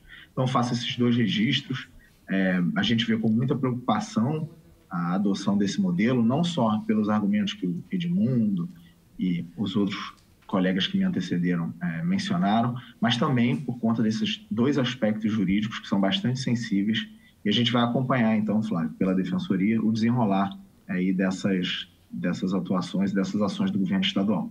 Obrigado e fico aqui acompanhando até meio-dia, meio-dia e meio, porque vou ter uma audiência presencial, então vou precisar me, me ausentar.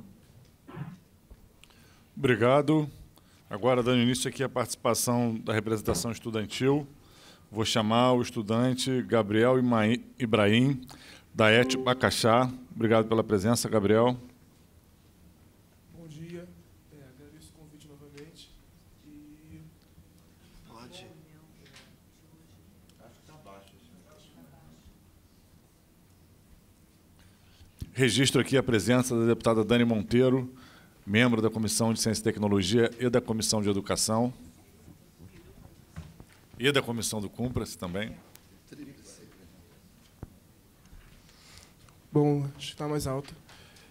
É, trazendo de volta a fala dos deputados, a gente foi submetido por um decreto de forma unilateral e que apresenta falhas é, em âmbito constitucional e também democrático, pois em momento nenhum fomos consultados e, e houve um debate uma, com um corpo discente e docente sobre, essa, sobre tal proposta. E citando a fala do subsecretário, que também há uma, também há uma discordância, um desencontro de falas em relação à premissa do projeto de um governo que recebe que de um projeto que, que, que visa a, obediência, respeito à pátria e à bandeira do Brasil, mas recebe apoio de uma presidência que saúda a, a bandeira americana.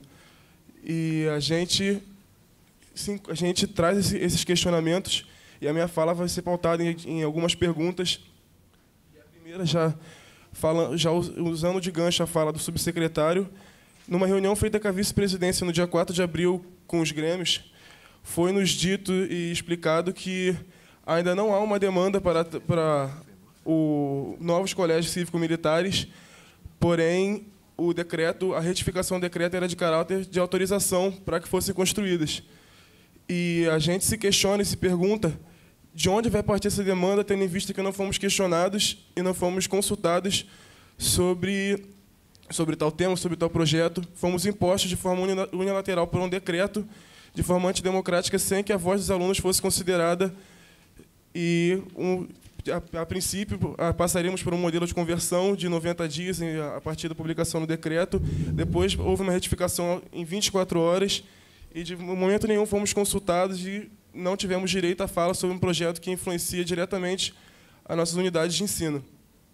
E tendo em vista isso, vou usar, vou quero fazer um novo questionamento usando a fala do Carlos Mink, do deputado Carlos Mink, em que também questiono como a lei de autoria dele, lei 9277 do dia 18 de maio de 2021, que garante ampla liberdade de expressão de professores, alunos e funcionários, não vai ser suprimida sem alterar a organização interna que as unidades da FATEC já, já têm. Grêmio Estudantil, Conselho, Conselho Escolar, as eleições para a presidência, as eleições para eleição.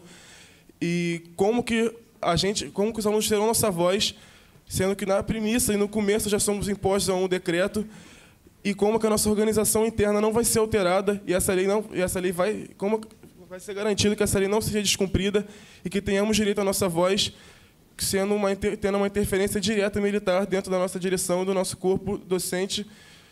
E tendo, também tendo esse questionamento, é, fica, fica a, nossa, a, nossa, a nossa pergunta, que tendo um corpo militar dentro da escola, se a democracia vai ser valorizada e esse corpo militar vai passar por um processo seletivo, vai passar por uma votação como é feita para a gestão da escola, e se acho que a resposta já, de certa forma, é evidente, como, não, como foi um decreto, não temos muito não temos muito direito de escolha nesse sentido.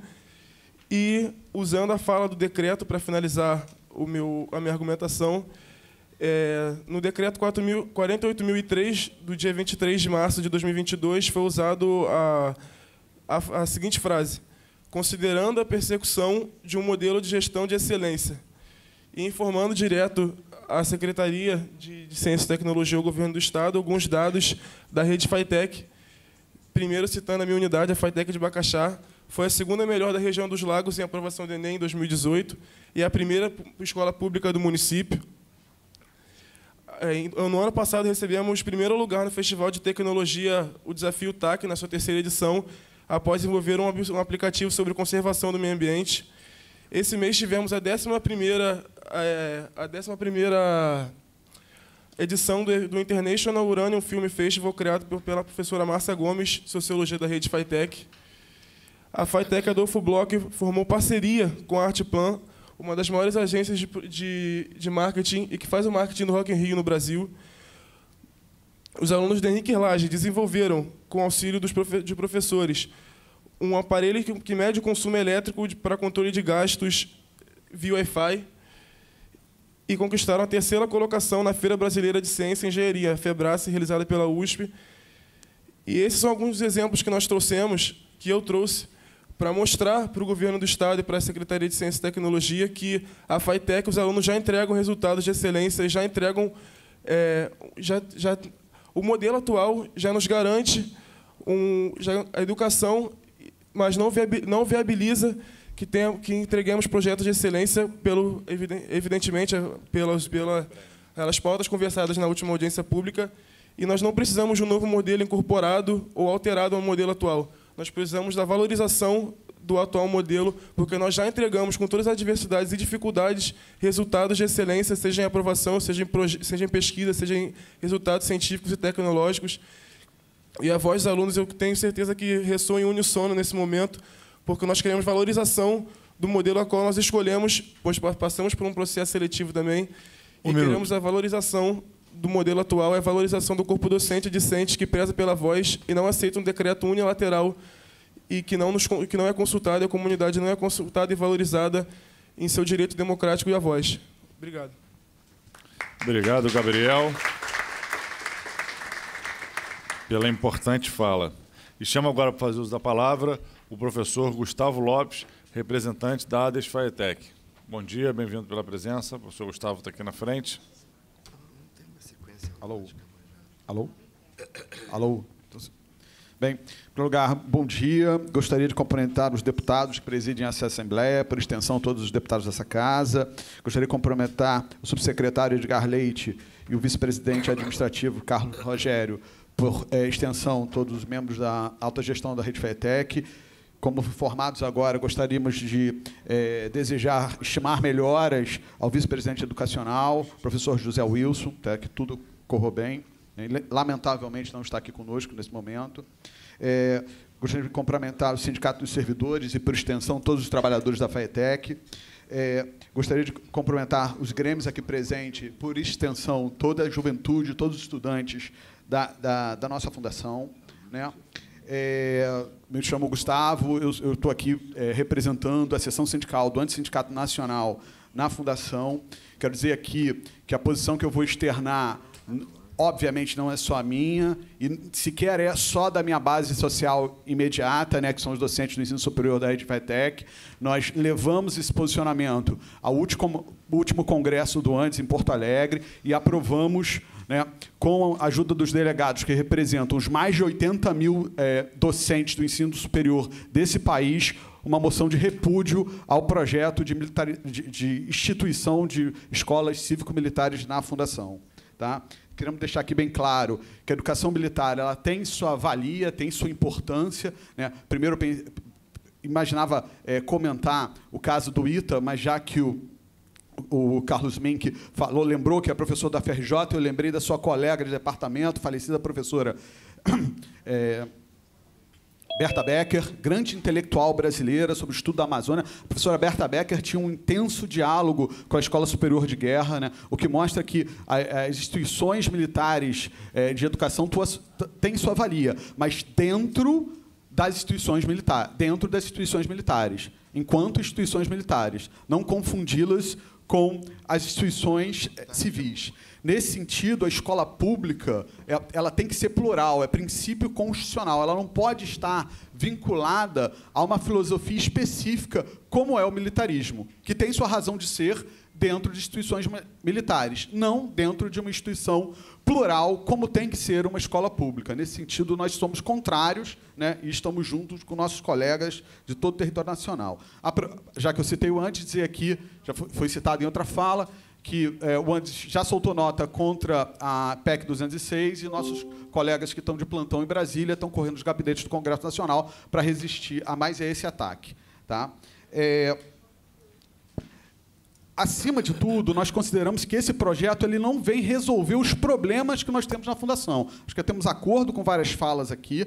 Para nós, já pontuamos isso em vários momentos. Né? É, a, a, o enfrentamento aos problemas da, da Rede FITEC passa por uma defesa de uma autonomia análoga à universitária, tal como existe nos institutos federais que foram citados aqui, há princípios da indissociabilidade do ensino, pesquisa e extensão que são realizados na, na fundação, mas com muita dificuldade, dada a sua estrutura. Para citar só um problema, entendeu, que a gente devia estar enfrentando agora, em vez de discutir é, a criação de escolas cívico-militares, um problema que foi discutido em duas audiências públicas já esse ano, a falta crônica de professores que nós estamos enfrentando. Nós estamos com uma carência muito séria de professores, com uma vacância, não só a carência, mas também uma vacância muito pesada. Como a minha seara aqui é o ensino superior, eu gostaria de destacar as ausências nos colégios de aplicação dos ERDs e do ZEPAM e também nas FAETERGs é, do interior. Por isso é fundamental que a FAETEC se desdobre aqui para tentar dar cabo dessa carência. Na audiência anterior, inclusive,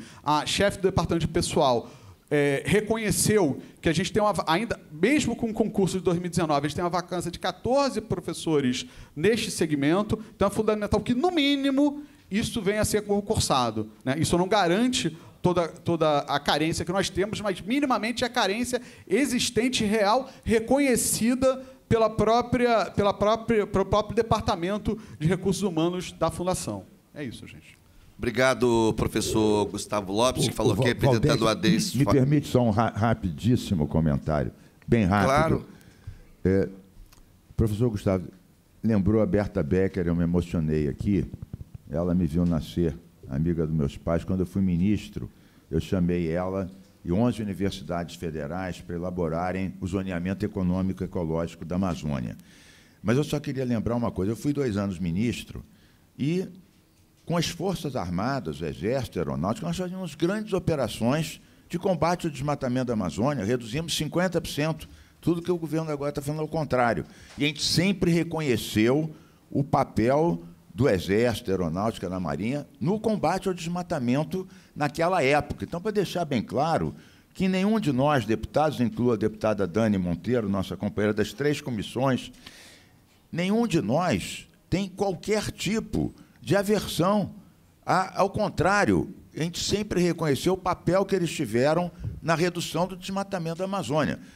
E o último assunto, lembrando aqui o que foi dito: um decreto é inferior à lei. Ele não tem o poder de alterar as leis da gestão democrática das escolas públicas, seja da rede SEDUC, seja da rede FATEC. É bom deixar muito claro isso. Não se altera uma lei por decreto. Era essa a observação, Obrigado, deputado, deputado Valdec. Claro, deputado Carlos Mink, com essas observações.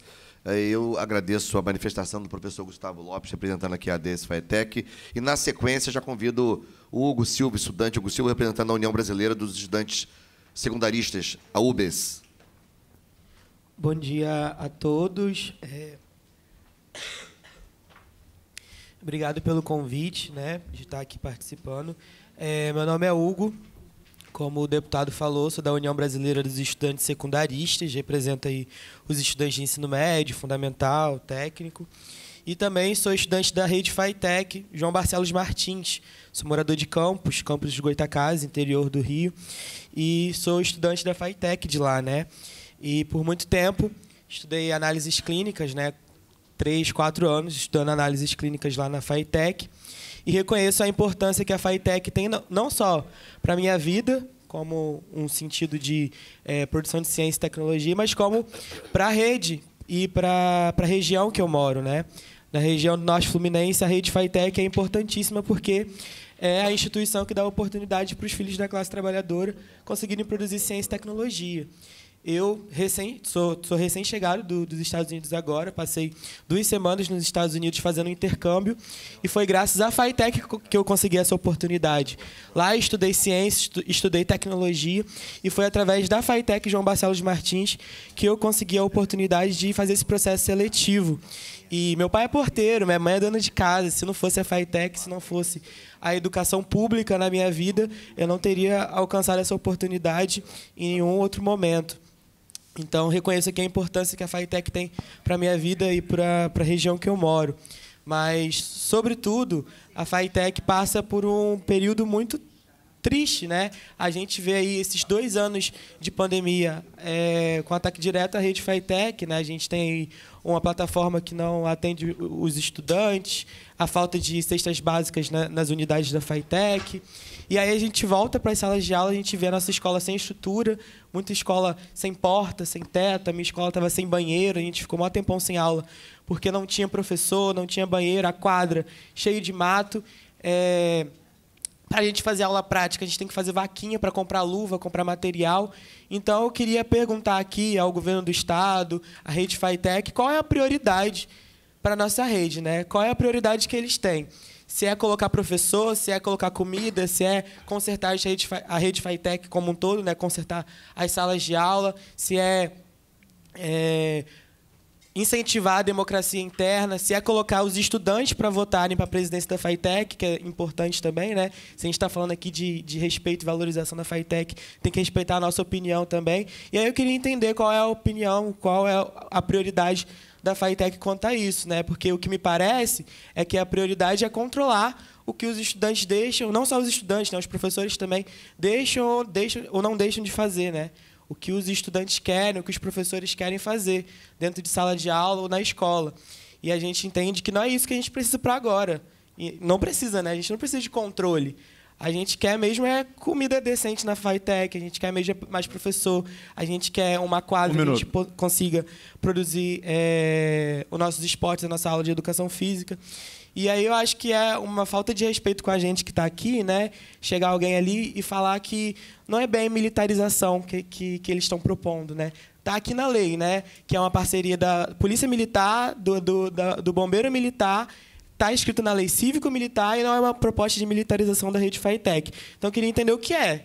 Se, é, um decreto. Né? Se, se, não é, se não é controlar a gente, colocar a gente para é, levar bandeira, né? enfim, e fazer parceria com o bombeiro e polícia militar, o que é militarização, então? Né? E eu acho que é, respeitar a pátria, né? ele falou muito disso, de respeitar a nação, a pátria, a bandeira, enfim. Respeitar a bandeira do Brasil, de fato, é defender a produção de ciência e tecnologia, mas com investimento na educação pública. Então, eu queria ver qual é a posição do governo estadual frente aos cortes do governo Bolsonaro na educação federal.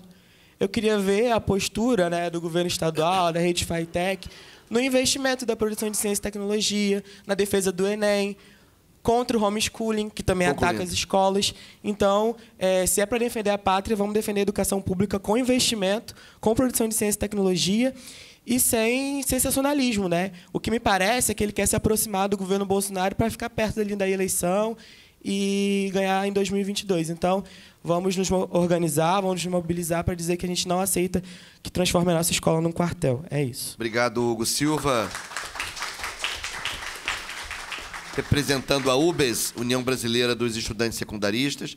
E já na sequência eu passo a palavra a Yasmin Farias, representando a AERJ, a Associação dos Estudantes Secundaristas do Estado do Rio de Janeiro. Eh, não sem antes citar aqui a presença do deputado Eliomar Coelho, conosco à mesa, do deputado Rodrigo Amorim, que se desejar ocupar certa mesa, por favor, sinta-se convidado, Então, os parlamentares já estão conosco aqui. Yasmin Faria, você tem a palavra, por favor.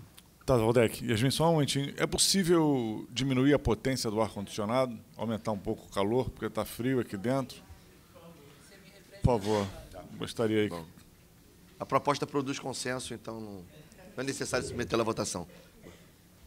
Boa tarde, bom dia ainda, né? A todos os presentes aqui e também virtualmente.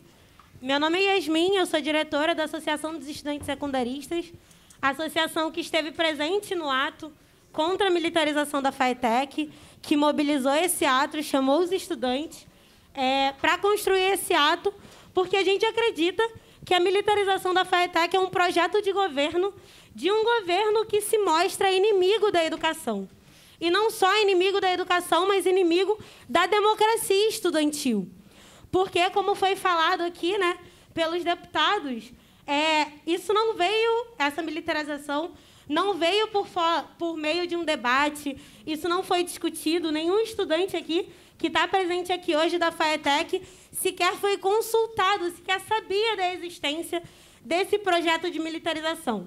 Ele foi imposto como um decreto, mostrando aí o caráter totalmente inimigo da democracia, no qual os estudantes não podem sequer opinar sobre o, a rede que eles estudam. É, a gente vê né, que o Ministério da Educação foi um dos ministérios mais afetados com os cortes de verba. Isso se mostra e se apresenta no dia a dia de toda instituição estudantil hoje. Mas, falando mais da FAETEC, a gente vê escolas que não têm, hoje, né, diversas das FAETECs não têm alimentação para os seus estudantes, que chegam na escola às sete da manhã, saem às vezes às seis da noite e não têm direito a um almoço ofertado pela escola. E o que o nosso o que a gente enxerga com isso são pessoas apoiando uma militarização, mas que não escutam os estudantes quando eles fazem um ato pedindo para ter almoço na escola, pedindo para ter investimento em estrutura, em laboratório, em preparação, em estágio. Isso não é observado pelos estudantes da Rede FAETEC hoje. É um absurdo que a gente esteja aqui nessa audiência debatendo, né, se mostrando contra a militarização, quando a gente deveria estar debatendo onde a gente vai investir as verbas dentro da FAETEC. Se a gente vai investir mais em estrutura, se a gente vai investir mais em alimentação, porque isso não está sendo garantido no dia a dia dos estudantes. Isso é um absurdo. Por que estão tão preocupados em mudar a dinâmica, em militarizar a dinâmica dos estudantes, a relação do estudante e o professor, por que estão tão preocupados em é, colocar um regime militar é, no dia a dia das escolas, no dia a dia das FAETECs, mas não estão preocupados quando os alunos fazem ato, manifestação, porque querem transporte público para poder ir nas suas escolas, assim como aconteceu na FAETEC Santa Cruz, onde diversos estudantes dependiam de uma linha de ônibus e esse ônibus foi cortado. Vários estudantes estão tendo que andar até a escola. Muitos deles estão faltando aula, porque não tem como chegar no colégio. E o que foi dito quando os estudantes fizeram lá mani diversas manifestações pedindo esse transporte? Nada. Nenhuma resposta foi dada aos estudantes. O que fizeram quando a FAETEC, quando os estudantes, o Grêmio da FAETEC, fez ato falando sobre a alimentação na, na rede FATEC. Que diversas estão um sem almoço, estão sem o lanche, estão sem alimentação digna para o estudante poder estudar. Nada foi dado como resposta a esses estudantes. Então, o movimento estudantil, a ERJ e todo mundo que está aqui representando o movimento estudantil, a gente está muito indignado com essa situação. A gente se coloca contra essa militarização não só por uma questão de construção do estudante pedagogicamente dentro da escola, mas também porque todas as vezes que a gente pediu pelo mínimo de estrutura, nada nos foi dado como resposta. Mas agora eles querem mudar toda a dinâmica do dia a dia da rede FAETEC, sem sequer consultar os estudantes. Isso é absurdo. E é isso que os estudantes da Rede FATEC estão aqui É isso que a ERJ está aqui defendendo, que a gente seja minimamente consultado, que a gente tenha democracia estudantil nos nossos espaços, que sejam resolvidos primeiros os nossos problemas de estrutura, a nossa alimentação, o nosso transporte, e depois a gente pensa em debater, a gente coloca isso como consulta e não como decreto aos estudantes sobre a mudança da dinâmica diária, do dia a dia, da relação professor-aluno. Primeiro a gente resolve o simples, o básico, e depois a gente coloca para debate, e não como forma de decreto, a dinâmica do dia a dia da rede FITEC. Concluindo. Obrigado, Yasmin Farias, representando a nossa AERJ, Associação dos Estudantes Secundaristas do Rio de Janeiro. Na sequência, eu convido para fazer uso da palavra a coordenadora do CAU Educação do MPRJ, a doutora Renata Carbonel, do MPRJ. Está presente? Está conosco? Não está conosco? Então, é, é, aguardando ainda a representação do MP, nós vamos, na sequência, convidar é, para fazer uso da palavra o representante da FENET, da Federação Nacional de Estudantes em Ensino Técnico, o Gabriel Campanhão. É, bom dia a todos. É, falo em nome da FENET, a Federação Nacional, como o deputado falou, dos estudantes de ensino técnico. E a gente queria né, falar com, principalmente com o deputado Carlos Mink lá sobre o ato contra a militarização. A gente estava lá, a gente cumprimentou o, deputado é, para poder construir um pouco mais essa, essa luta.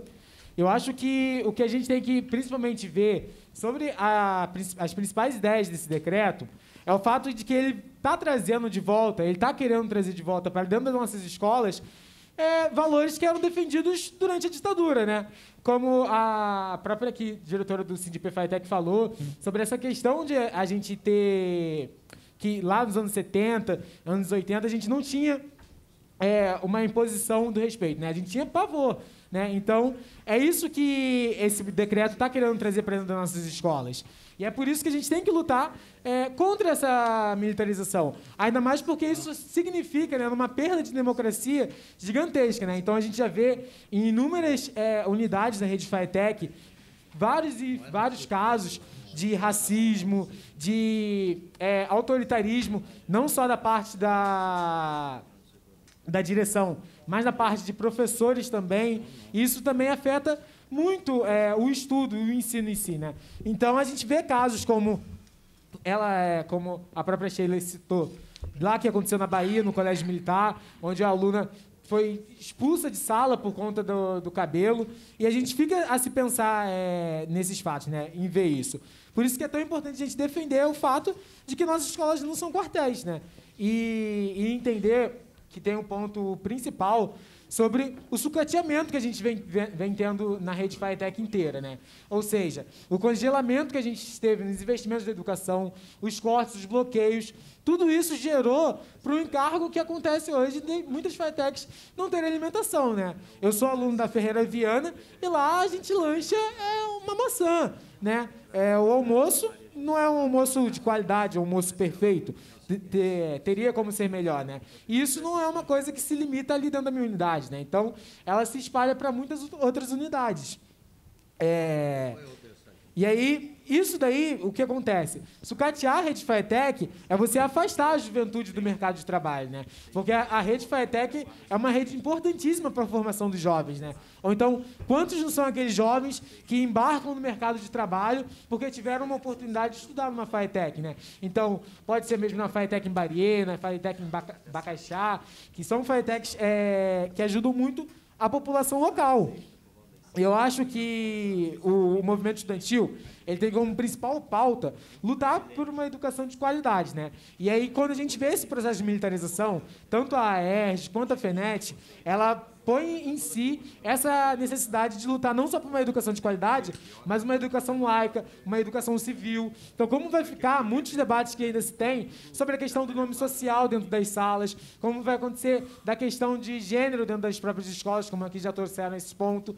Isso vai, como isso vai ser implementado, né?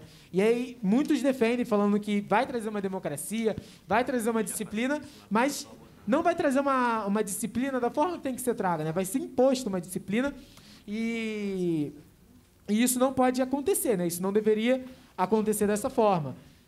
É,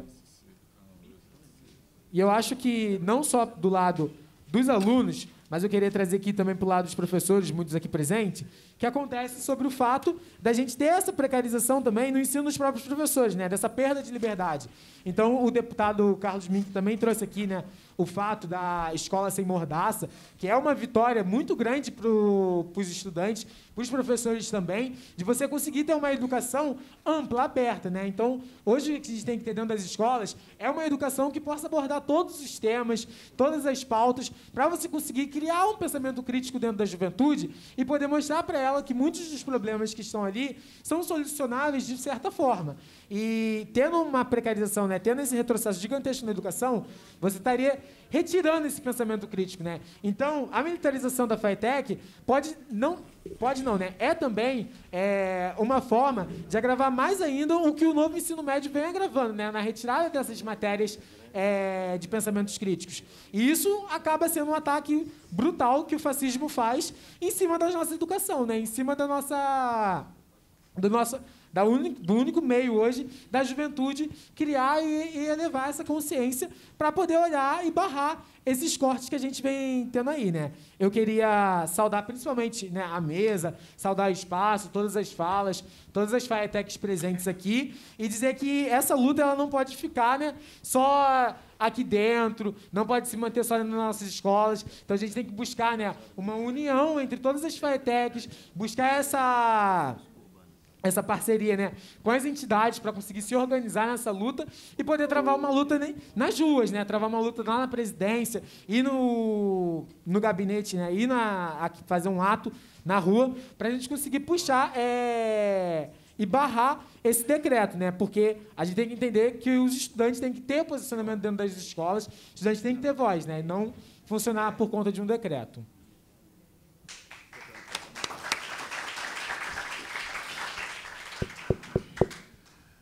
Obrigado, Gabriel, Yasmin também. É, antes de chamar o próximo, vou fazer só um comentário para vocês que vocês talvez não saibam. Com 17 anos, eu era vice-presidente da AMES, aqui no Rio de Janeiro. Participei da resistência e fui preso e torturado barbaramente com 17 anos de idade na Polícia do Exército da Vila Militar. Só para constar que tem algumas pessoas que dizem que isso não aconteceu. Isso, infelizmente, aconteceu comigo e com vários outros. Bom, vou chamar então aqui, é, de comum acordo, a, o Fórum dos Diretores da FAETEC, professora Ana Luísa Diniz, é, aqui presente. Oi, boa tarde a todos. A gente ah, cumprimenta todos os presentes. Eu e a professora Cecília estamos aqui hoje trazendo um reflexo né, das discussões que foram realizadas com os diretores da rede FAETEC sobre o tema dessa audiência pública de hoje. Né? Muitas questões já foram aqui trazidas, né, faladas por várias pessoas. A primeira delas, que foi logo o primeiro ponto a ser destacado por diretores na nossa reunião, foi a falta de consulta à comunidade escolar. Né? Você querer construir o que tem sido falado aqui de uma parceria, né? que haveria uma parceria da, da Polícia Militar e do Corpo de Bombeiros, né, dentro das escolas da rede FAETEC. A gente entende que parceria é uma construção. Né? Então, a primeira questão que a gente destaca logo é que não se firma parceria através de um decreto. Então, haveria necessidade, a princípio de tudo, de que isso fosse discutido com a comunidade, como os alunos apontaram aqui, como outros né, pessoas aqui já apontaram, e em nenhum momento essa discussão ela foi feita, seja ela com os alunos, seja ela com os profissionais de educação da rede FAETEC. Né? Então, isso veio para nós através de um decreto. Então, esse é o primeiro ponto que foi destacado pelos gestores na reunião que nós fizemos. Né? É, algumas outras questões foram levantadas, mas eu acho que o principal que eu gostaria de destacar aqui nesse momento é a insistência que é feita sempre na questão disciplinar. E a maneira como se entende né, a garantia de disciplina dentro de um espaço educacional, ela é muito diferente da maneira como se entende a garantia de disciplina num espaço militar. Né? São instituições diferentes, que têm propósitos diferentes, e uma vez que você tenta misturar instituições que têm propósitos diferentes e encaixá-las no mesmo modelo, a gente entende que isso não tem como funcionar. Né? Dentro de uma escola, quando a gente tem problemas ali de indisciplina, isso é tratado com diálogo, isso é tratado com uma construção com esse aluno, com o responsável, né, de quais são os limites. Então, a gente é pautado dentro de um ambiente educacional pela orientação. É isso que nos falta. Né? É essa função de um educador. Então, o espaço educacional ele tem esse compromisso com a sociedade, de você fazer a formação desse aluno e, através do aluno, você levar também a conscientização para a família, através da orientação, através do diálogo, né? que é algo muito diferente do que se realiza dentro de uma instituição militar. Né? Não cabe aqui a gente discutir quais são os motivos, cada uma delas tem os seus motivos, né? tanto a educação, tanto a unidade escolar quanto o militar para firmar a disciplina de, por modos diferentes, mas é dessa maneira que a gente constrói essa, essa disciplina dentro de uma instituição é, educacional. É, se falou aqui muito sobre a questão do investimento, né? eu acho que já ficou muito claro pela fala dos alunos e pela fala é, de outras pessoas, do valor que a rede FAETEC tem hoje para a sociedade. Né? A gente sabe que já foi é, apautado em outras audiências públicas os problemas que a FAETEC enfrenta hoje, e apesar de tudo isso, como o aluno muito bem ressaltou, a FAETEC entrega resultados muito positivos para a sociedade. Os nossos alunos, eles são alunos que se destacam não apenas em, em propostas é, científicas, como também em, em, ingresso nas universidades públicas. Né? Então, as nossas escolas da rede FAETEC, elas estão muito bem conceituadas em relação a ingresso de alunos nas universidades públicas. Então, isso já mostra o sucesso da rede FAETEC no modelo que nós temos hoje, apesar de todos os problemas que já foram tão ressaltados nessa e em outras audiências públicas. Então, esse é um modelo que tem dado sucesso. O que falta para esse modelo é ser mais bem sucedido é o investimento. Então, é isso que falta hoje para a rede FAETEC. Um investimento que se traduza na possibilidade de termos melhores laboratórios, um investimento que se traduza você ter um corpo, uma equipe técnico-pedagógica né, completa, que a gente não tem hoje nas unidades da rede FAETEC. Então, isso é que faria uma diferença para que esse modelo fosse mais bem sucedido do que ele já é hoje, apesar de todos os problemas. Né? É, se falou aqui também sobre a questão do respeito, né? que hoje em dia, nas escolas da rede pública, a gente tem um problema que se traduz, não posso dizer isso, por exemplo, da, minha, da escola que que eu sou gestora, que é a ETS Santa Cruz, né, de desrespeito ao professor por parte dos alunos. Né? Então, isso não é uma tônica dentro da minha escola, como não é uma tônica dentro da maioria das escolas da rede FAETEC. Né?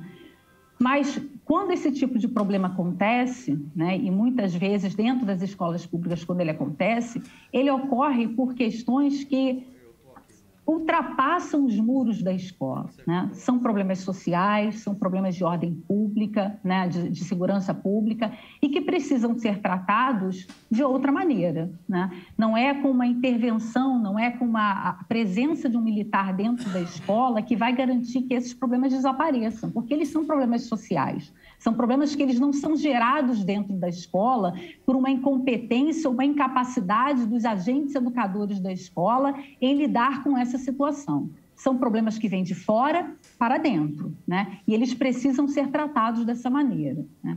E eu não posso deixar de destacar que longe de sentir que esse tipo de, de atuação militar dentro da escola ela vai trazer um, um respeito para o professor, eu considero que isso é um desrespeito. Né? É um desrespeito porque uma visão como essa, de que eu vou ter um agente externo dentro da escola e que esse agente externo vai garantir algo que eu, enquanto educadora, não estou conseguindo garantir, significa que se considera que o meu trabalho, que a nossa formação enquanto educadores, ela não é o bastante. E a gente sabe que não é bem por aí. Né? Então, por todos esses motivos que a gente apresentou aqui, a gente considera que essa proposta não é uma proposta válida para a rede FAETEC. Eu vou passar a professora Cecília, ver se ela quer complementar alguma coisa. É, só complementando essa questão, quando fala em respeito ao magistério e valorização, respeito ao magistério se faz com melhor plano de cargos e salários, com sistema de dedicação exclusiva, com os recursos chegando corretamente nas escolas, aí sim a gente vai ter respeito e valorização. Né? Na verdade, esses anos o que a gente tem visto é o contrário, né? São os professores sendo massacrados, são os professores sendo bombardeados quando eles vão buscar os seus direitos, né? Então, esses agentes públicos, inclusive, que estão querendo inserir dentro da escola, são os agentes repressores dos próprios professores, né? Quando eles vão buscar o seu direito, quando eles vão buscar a sua valorização. E só para complementar, é, eu acho que minimizou muito a perspectiva de escola cívico-militar quando se fala que a escola cívico-militar é só para cantar o hino, fazer uma fila hastear a bandeira e se levantar para o professor.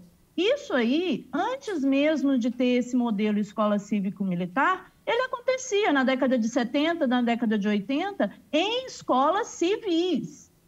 Então, por que você precisa disso hoje com militares nas escolas? Não tem lógica, não tem razão de ser, e, na verdade, é o grande desrespeito que a gente tem, tem hoje. Né? Só para é, pontuar, quando o senhor Edgar falou, ah, o corpo de bombeiro pode dar técnicas de segurança, né? As escolas técnicas, elas têm curso de segurança do trabalho, elas têm curso de enfermagem, que tem profissionais ali qualificados e capacitados e formando esses profissionais para dar esses cursos.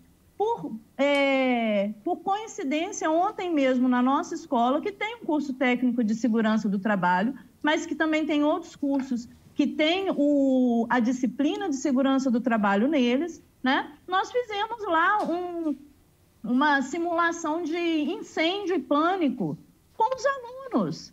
Não tinha bombeiro, tinha profissionais da área, né? Não tinha repressão, não tinha formação de fila. Os alunos desceram normalmente, em oito minutos e meio, nós evacuamos a nossa escola, tá? Sem a necessidade de um bombeiro, de um militar dando ordens, só com educação. Tá? Então, assim, é, nós precisamos disso. Quer valorizar a educação? Quer valorizar o ensino público, o ensino técnico? Então, valorize os profissionais, coloque os profissionais é, para trabalhar, porque estamos sem pedagogos que vão ajudar na disciplina, estamos sem inspetores, estamos sem vigias, estamos sem alimentação, né? E para isso não é necessário o, o, poder militar, o poder do corpo de bombeiro ou do exército dentro das escolas. Para isso é necessário o investimento público correto na Secretaria de Ciência e Tecnologia, na Secretaria de Educação, né? Então eu acho que seria isso.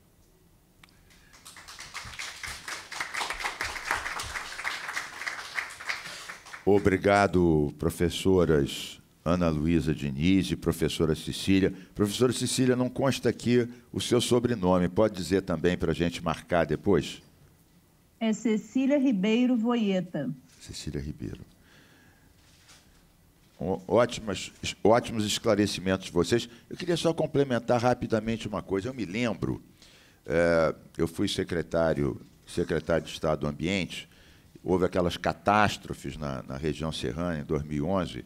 Nós, na aula de educação ambiental, nós chamávamos pessoas da defesa civil para criar uma mentalidade de prevenção, que não há uma cultura de prevenção.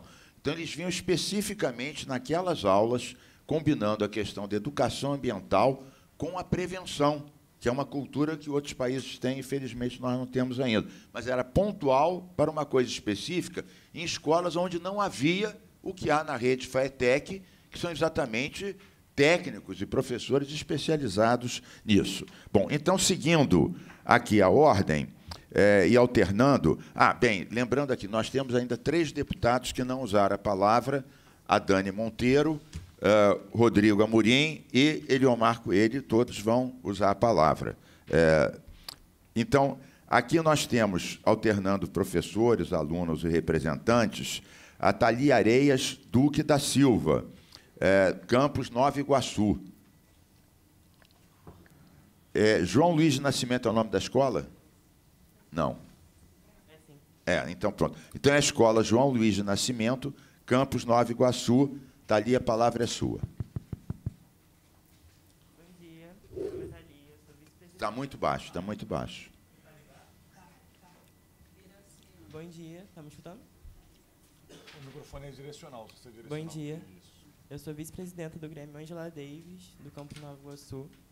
É, e venho aqui primeiro citar a fala do subsecretário, dizendo sobre respeito com os alunos para o corpo estudantil, que não é feito do corpo estudantil para os alunos onde há casos de assédio, que todas, todas as pessoas de cada unidade aqui têm algum relato, onde meninas sofrem assédio por parte de professores e, e funcionários, e também transfobia e qualquer outra opressão que os alunos sofrem diariamente. E falar que o respeito vem por par que esse o decreto é para ter respeito nas escolas é totalmente errado, onde as escolas não têm respeito pelos alunos. Mas seguindo aqui minha fala, é, quero questionar principalmente o governador no que, que ele se baseia, no que ele se apoia para construir um decreto desse. Por que disso tudo? Onde isso tá, vai trazer melhorias para a FAITEC e suas novas unidades cívico-militares? E, numa, numa reunião, dia 4 de maio, com a diretoria da FAITEC, eles não sabiam de nada sobre esse decreto e o presidente, que tinha se que revogado o cargo um dia antes, também não estava lá para responder às questões é, dos grêmios, dos alunos, sobre é, tornar a FATEC cívico-militar. Até porque ele, João Carrilho e, e Cláudio Castro, eles são próximos, então provavelmente ele deveria ter alguma resposta sobre isso. Os avanços dessa política conservadora abrem portas para propostas como essa, além de, uma, de ótimo para uma futura eleição do Cláudio Castro, e até mesmo no presidente da FITEC, que já se elegeu. É ignorada as 122 unidades que vivem por aparelhos, que só quebrariam muito mais se um decreto desse fosse aprovado, onde a verba de diversos campos fosse reduzida para suprir a necessidade das unidades cívico-militares. A FAETEC é uma das maiores fundações de ensino do Rio de Janeiro, quiçá do Brasil, onde a juventude e população pobre consegue se formar de forma gratuita e livre, será que se tornar um cívico-militar seria tão livre assim? Será que teria grêmios? Será que será que as minorias estariam nessas unidades? Será que uma travesti como eu seria, se formaria como técnica em identificações? E provavelmente não. Dar a fundação nas mãos de Forças Armadas não vai solucionar nada, apenas alavancar o nome de políticos, avançar mais uma vez com políticas conservadoras, construída por fascistas, que são passos para retirar a liberdade e avançar com uma ditadura que tenta a todo custo ser construída por Bolsonaro a FATEC não vai ser quartel e seus alunos são combativos o suficiente para isso não acontecer. Onde vários políticos já falaram que vai ser, que eles não se importam com os alunos e que, que isso tudo é para alavancar o nome deles, alavancar é, entre os conservadores do país, porque todos aqui, to, perdão, todos os políticos que apoiam isso são para amordaçar os alunos, amordaçar os professores e que as eleições sigam para esse rumo fascista e que provavelmente crie uma ditadura no país, no nosso país. Concluo.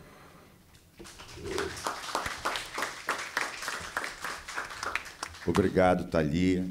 Esperando que a sua frase final que ela não se concretize, que a resistência democrática seja capaz de reorientar o país para o rumo do respeito e não do ódio. Bem, na alternância, Chama então professor Maurício Rodrigues, Comitê de Mobilização Henrique Lage. Se encontra? Não está presente. É, então, é, a ver quem não foi chamado aqui ainda. É, representação de pais e responsáveis. Natália Ribeiro, Conselho Escolar Et República. Se encontra? Não se encontra. Bom, então voltamos aqui a representação estudantil, é, Rafael Lacerda. Também não se encontra. Isabela Campos em Barier.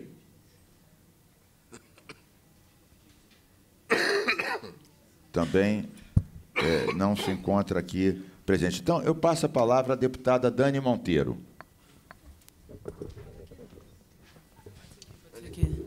Mais fácil.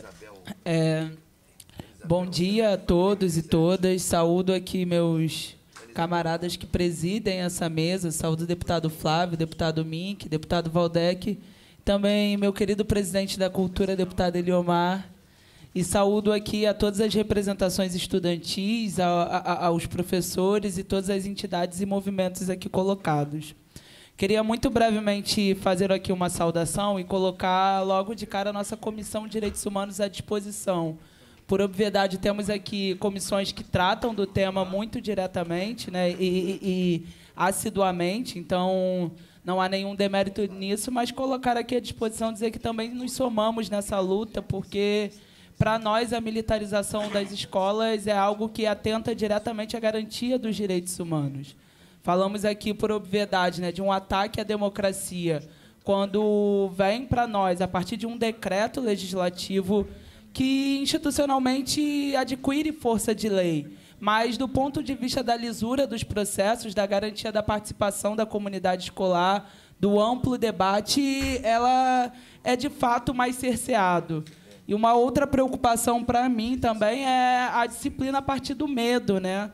Quando a gente pensa em situações como a que ocorreu na escola municipal, que foi municipalizada, inclusive, recentemente lá em Valença, que ao pedir para um estudante jovem de cerca de 10 anos retirar o boné e o estudante não retirou, o guarda municipal deferiu um golpe na cara desse estudante. Então, nos preocupa porque há um atentado direto ao artigo 205 da Constituição Federal quando fala da garantia do ensino-aprendizagem. Nós não podemos pensar uma didática que seja imposta através do medo. É preciso criar um diagnóstico sobre a rede hoje e entender de fato para onde ela deva caminhar. Porque, de fato, uma rede que se propõe à capacitação tecnológica, ela precisa e carece de atualizações. Mas essas atualizações elas não podem vir de modo impositivo. Eu queria localizar o problema, sobretudo, quando falamos da questão orçamentária. Porque nessa gestão desse governo não é a primeira vez que lidamos com essa situação de militarização das escolas. Para além de aversões possíveis ou não, há uma, um entrave é, é, orçamentário. A gente acompanhou e fizemos um atendimento na primeira escola militar dessa gestão, que foi lá em Volta Redonda, no bairro do Açude 1. Era um antigo CIEP que foi transformada numa escola é, vinculada né, em parceria com a Corporação de Bombeiros.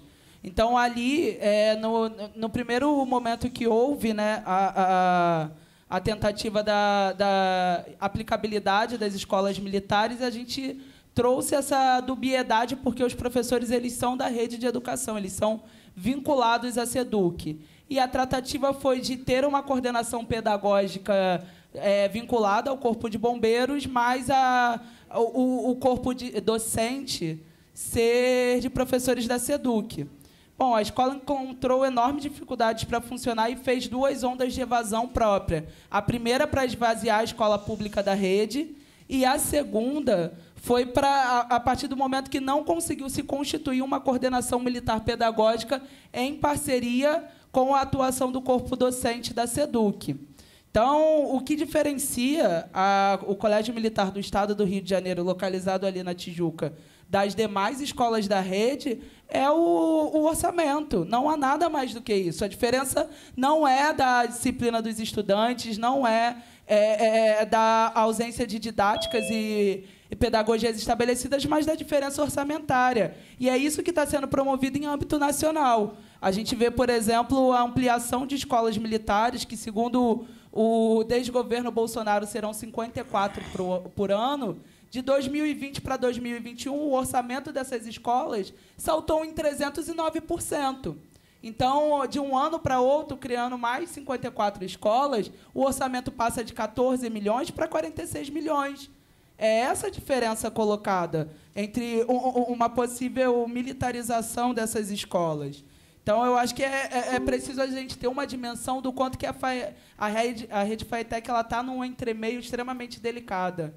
É, também tive uma atuação secundarista, eu fiz escola normal, estudei no Colégio Estadual Júlia Kubitschek, aqui no centro do Rio, e o desafio sempre foi essa questão orçamentária. Quem paga o, os custos da educação pública? O, vejo aqui os estudantes, as entidades AERJ, FENET, o MUP, vejo aqui é, diversas representações também, o JR.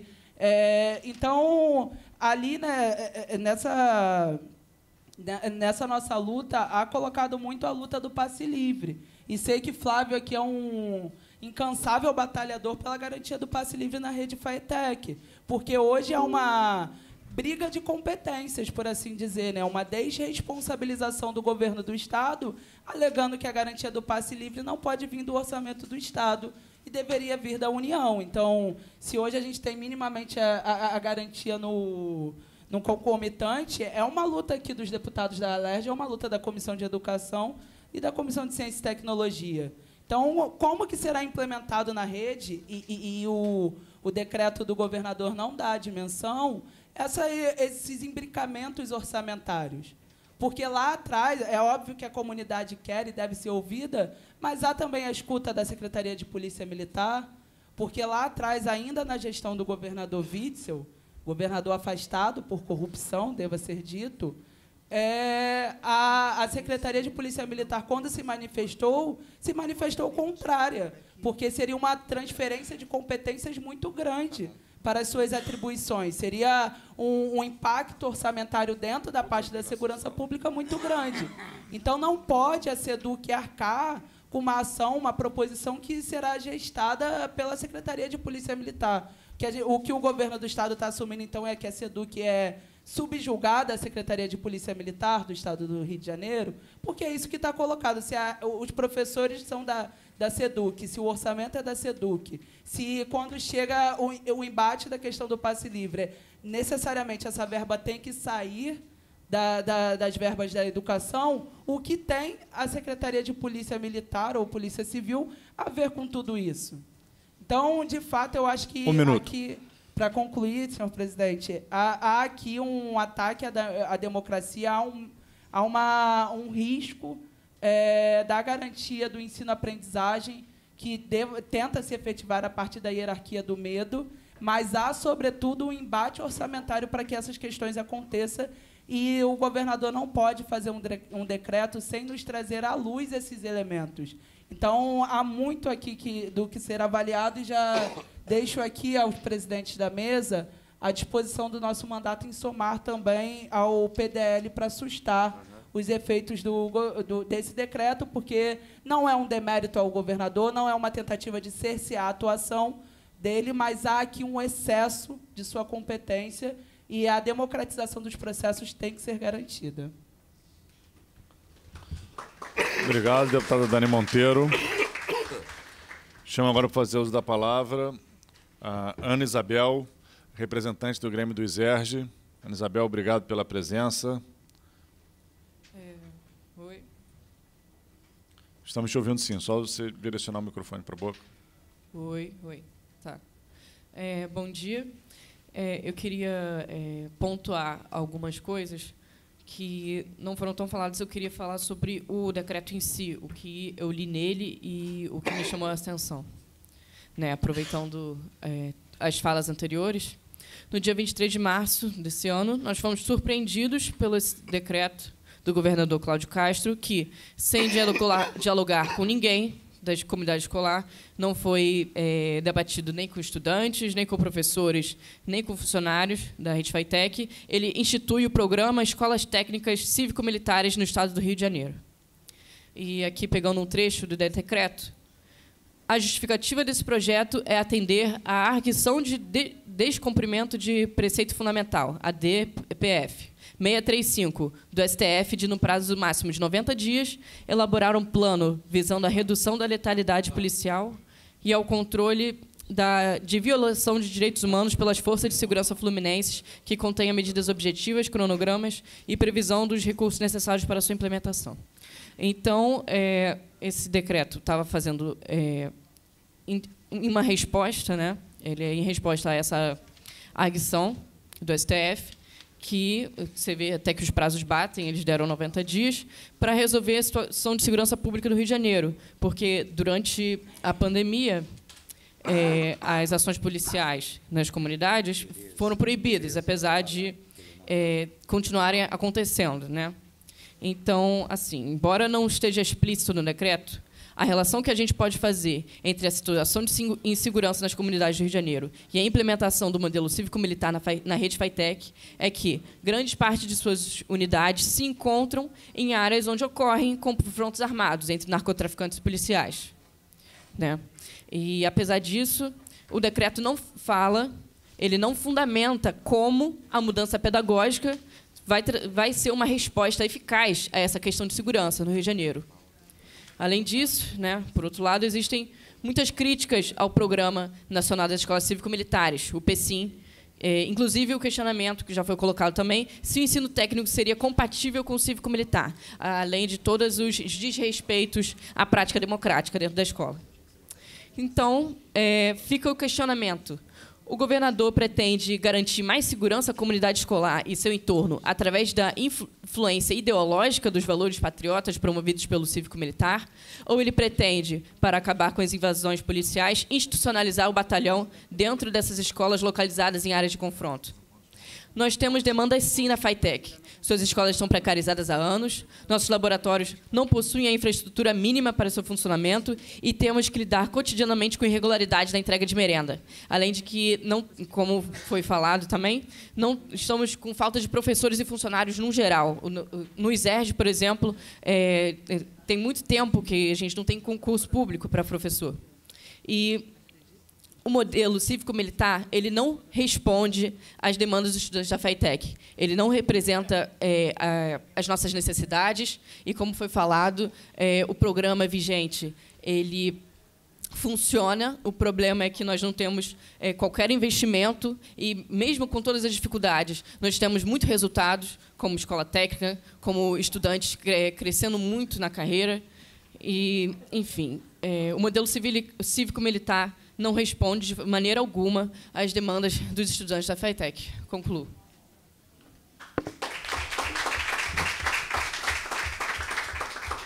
Obrigado, Ana Isabel. Chamo para uso da palavra agora o deputado Rodrigo Amorim, se assim quiser.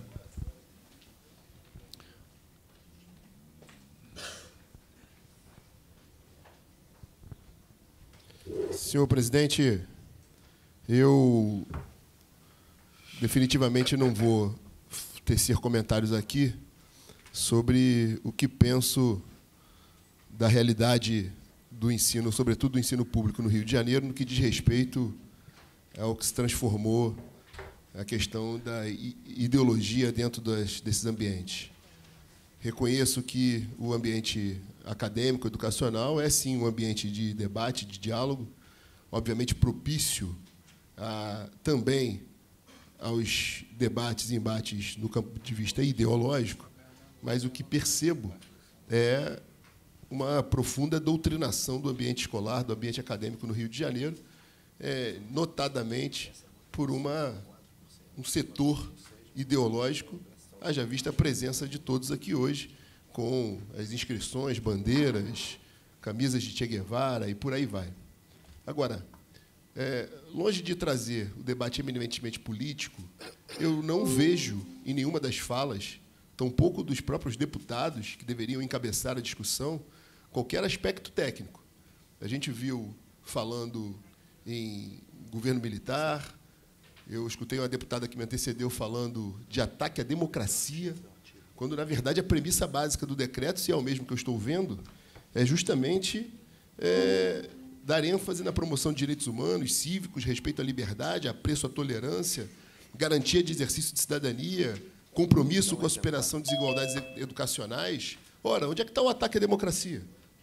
O que eu percebo é, é que, falar, um Brasil afora, existem muitos colégios, instituições de ensino que adotaram o modelo cívico-militar compartilhado com uma instituição militar, uma instituição civil, e é o que se pretende. Inclusive, já acontece no Rio de Janeiro, em âmbito federal, a gente tem uma escola, uma escola militar federal, a gente tem escolas militares estaduais, a gente tem um plano nacional de extremo sucesso, que foi implementado, inclusive, na Prefeitura do Rio de Janeiro, o que, em números absolutos, e são números que eu apresento aqui, que não são da minha cabeça, são números, por exemplo, do mostram que, que o IDEB mostra que a média de nota do sexto ao nono ano de uma escola cívico-militar é 7, ao passo que as demais escolas 4,9. A taxa de abandono, evasão escolar é 77% menor quando se trata de uma escola cívico-militar. A reprovação, 37,4% menor. É, além disso, o índice de alunos na idade certa de escolaridade, 50% maior do que os colégios tradicionais. Olha, eu só vejo pontos positivos, salutares. O que há de errado no ensino cívico-militar, na ênfase ao patriotismo, a antiga ensino moral e cívica, que na nossa época era lecionado em sala de aula. Quando eu percebo claramente num decreto do governador que, de forma muito objetiva, cria um programa, e aqui, com todo respeito à liberdade, à democracia, à participação popular, mas o governador não tem absolutamente necessidade nenhuma de ouvir ninguém para isso. O governador é autoridade. Aqueles que querem ser ouvidos, inclusive do partido de muitos que estão aqui, eu tenho uma recomendação. Concorram ao cargo de governador do Estado, ganhem a eleição e implementem as políticas públicas que bem entenderem. O governador está no uso das suas atribuições e tem total liberdade para apresentar qualquer decreto que seja. Haja vista que o decreto cria um programa que Segundo artigo do próprio decreto, a implementação se dará através de um estudo dentre as secretarias apontadas, inclusive no que diz respeito à questão orçamentária. Para os que aqui não conhecem, é, o financiamento das políticas da segurança pública, mormente da Polícia Militar e do Bombeiro Militar do Estado do Rio de Janeiro, tem recursos advindos do FISED que poderiam ser utilizados, é, inclusive para corrigir o que eu aponto, ouvi aqui de alunos, de é, erros colocados pelos alunos no sentido de financiamento de alimentação, alimenta é, é, financiamento de transporte, de infraestrutura das unidades escolares, que poderiam ser custeadas com esse incremento orçamentário que se daria, é, sobretudo nessas linhas de financiamento no âmbito da Polícia Militar e do Corpo de Bombeiros, mais precisamente do FISED, do Funesbom. Há dinheiro, há superávit para isso. Um então, nesse sentido, deputado, eu vejo muito pobre a discussão aqui e, como sempre, simplesmente indo para o lado ideológico. Já se fizeram ataques é, ao presidente Bolsonaro, se fizeram ataques aqui ao período de governo militar, e eu não vi nenhum diálogo que diz respeito efetivamente ao incremento da educação, com uma educação de qualidade, uma educação patriótica, com valores cívicos, através desses números que eu mencionei, que só incrementam o ensino, e mais do que isso, tra trazem um ambiente de paz, um ambiente de aumento da segurança, já vista que esses ambientes militarizados é, serão propícios a isso. Então, não me admira aqueles que defendem a desmilitarização da polícia, aqueles que têm pavor da polícia, a, adotarem esse tipo de discussão, quando, na verdade, passa ao largo do que deveria estar sendo exatamente discutido. Dizer que a gente está muito de olho na FAITEC, inclusive no processo de escolha dos diretores, porque já chegou ao meu gabinete indícios gravíssimos de fraude nas eleições, para beneficiar um determinado grupo político. Já é objeto de requerimento de informação e de uma ação, inclusive, que será judicializada por conta do meu mandato. E dizer que aplaudo, não só como vice-líder do governo, mas aplaudo com veemência é, esse decreto do governador Cláudio Castro, que, ao meu ver, só tem um, um defeito, que ele foi editado no dia 23 de março, quando seria muito mais bonito se o fosse feito no dia 31 de março, em referência é, ao governo que libertou o Brasil de uma potencial ditadura comunista que tentaram implementar naquele momento. Salve o ensino cívico-militar, salve as escolas militares, salve as Forças Armadas, salve o Corpo de Bombeiros Militar e a Polícia Militar do Estado do Rio de Janeiro, que são a nossa última fronteira com o caos definitivamente. Muito obrigado, senhor presidente. Próximo inscrito é Maria Tereza Avance, é, da campanha pelo direito à educação e assessora do deputado Leomar Coelho. Deputado Flávio, só para fins de retificação, a data do golpe de Estado de 64 foi 1 de abril.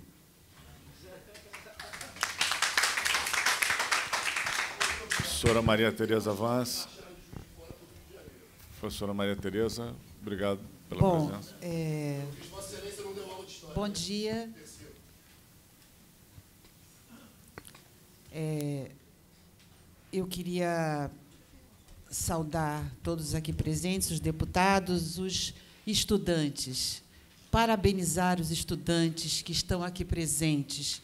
E sua bela avaliação e narrativa sobre o que é a realidade das escolas. Eu gostaria, em nome do deputado Eliomar Coelho e da Campanha Nacional pelo Direito à Educação, que eu coordeno aqui, ajudo a coordenar no Rio de Janeiro, saudar estes estudantes, que são os heróis das nossas escolas. São a nossa resistência, serão o nosso futuro. E vocês aqui estão bem representando o que nós desejamos para o futuro. Conscientes, politizados, amantes da escola pública, apaixonados por aquilo que, que estudaram escolher e ainda têm liberdade. Mas esse ainda está em risco. Nós sabemos que esse decreto e o, é, o Ministério Público, a Defensoria Pública, que aqui já se posicionaram, assim como tantos deputados, é inconstitucional. Nós, acima de tudo, defendemos a Constituição, a Lei de Diretrizes e Bases, o Plano Nacional de Educação.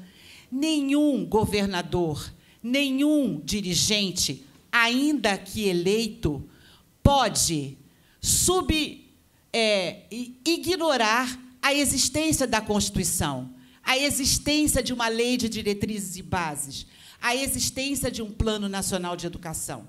E todas essas leis falam de gestão democrática, de é, liberdade de ensino, de educação de qualidade, onde o dinheiro público para escola pública não está acima de trazer é, polícia ou policial militar ou o que seja para uma modalidade de ensino, como diz a própria nota do Ministério Público, que sequer existe dentro da Constituição e da Lei de Diretrizes e Bases.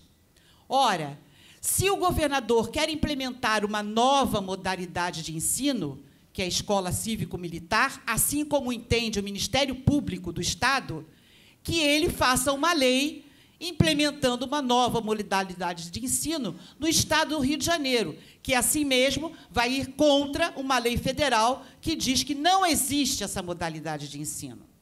Portanto, eu estou aqui chamando, em nome da Campanha Nacional pelo Direito à Educação, de todas as é, comissões aqui presentes, o Ministério Público, a Defensoria Pública, como um governador pode implementar, por decreto, alguma coisa que é inconstitucional? Nós temos hoje que sair daqui com um acordo de todas as instituições do Estado do Rio de Janeiro para que um decreto não esteja acima de uma lei. Então, eu conclamo todos aqui presentes para que possamos sair daqui com um acordo, porque um governador eleito não pode fazer isso. Então, nós temos já uma proposta de sustar um decreto né, de todas as comissões aqui presentes, e eu acho que nós temos que sair daqui com esse acordo, porque, é, por mais que seja eleito, nós podemos tirá-lo este ano. E assim, eu acho que podemos, quem sabe, ter um governador que pelo menos respeite a lei. Ah, e mais, e que manda para a Casa Legislativa um projeto de plano estadual de educação, porque foi forçado a enviar, porque até hoje o plano estadual não foi atualizado. E manda em regime de urgência, sem nenhuma discussão. Ou seja, de novo, mais uma vez, não teremos discussão? Não nós vamos fazer discussão. Porque um plano estadual de educação também não pode ser aprovado a toque de caixa. Então, é a segunda convocação que fazemos aqui hoje. Muito obrigada. Obrigado, doutora Maria Tereza. Eu repasso a palavra agora para o professor Edgar Leite, subsecretário de Ciência e Tecnologia. Bom, é, eu acho que essas iniciativas são positivas para que se possam esclarecer cada vez mais os objetivos e o escopo né, maior do projeto Escolas Cívico-Militares. Eu acho que o deputado Amorim, ele realmente apontou o sucesso que essas escolas têm, que não é um sucesso é, surpreendente, na verdade previsível, na medida em que o rigor do estudo, a, a dedicação regrada a um objetivo de aquisição de conhecimento, quanto mais preciso é, maior é o sucesso. Né? Isso independe da filosofia educacional que a pessoa adota, no fundo. Né? Você, quando tem um ambiente propício, onde os limites para a expansão individual são limitados e concentrados e voltados para um determinado objetivo, isso qualquer pessoa que estuda sabe disso, funcionam bem.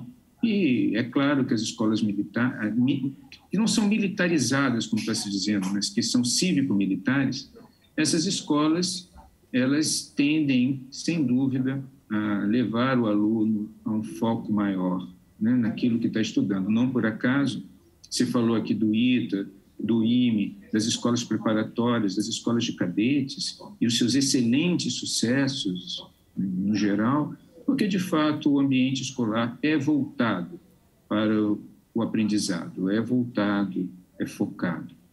É, então, eu acho que é importante que existam mais audiências públicas como essa e que as coisas possam ser expostas para esclarecer e dissipar né, medos possíveis. Isso não tem nada a ver com uma, um ataque à democracia ou um ataque à pluralidade, pelo contrário. Quanto mais qualificados, quanto mais é, quanto maior o conhecimento adquirido e melhor processado, quanto mais as pessoas aprendem a estudar e a se dedicar, é, mais consistente é a democracia. A pátria, a nação, né, o Brasil, ele precisa de uma melhoria, uma qualificação maior, não apenas da mão de obra, mas esse é um problema que existe no sistema educacional desde sempre, mas ele precisa também é, de uma cultura de estudo, né, uma cultura de aplicação aos estudos. Então, nesse sentido, a proposição do governo vem nessa direção, como nós já chamamos, chamamos atenção, isso não implica na transformação da rede da FITEC em escola cívico-militar, mas é, algumas escolas que ainda serão criadas. Né? E eu acho que isso é uma demanda da sociedade. Né? Isso pode existir independente de qualquer outro modelo existente, né? mas a sociedade é, deseja parcela dela, deseja isso, e eu acho que deve ser realizado é, para que nós possamos é, ter uma melhoria maior da qualidade do aprendizado. Então, parabenizo os deputados por essa audiência pública eu acredito que deve, deve existir outras, né, onde nós possamos continuar é, trabalhando sobre esses conteúdos explicando os objetivos e mostrando que as intenções aqui são realmente da melhoria do processo de aprendizado e a melhoria na qualificação da mão de obra, não só do ponto de vista concreto, profissional, mas também do ponto de vista ético e moral. Obrigado.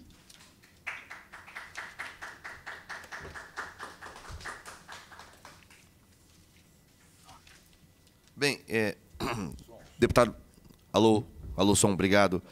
Obrigado, subsecretário Edgar. Eu queria, antes é, do encerramento da audiência pública, deixar aqui, deputado Flávio, deputado Mink, a todos e a todas presentes e participando remotamente, duas propostas de encaminhamento.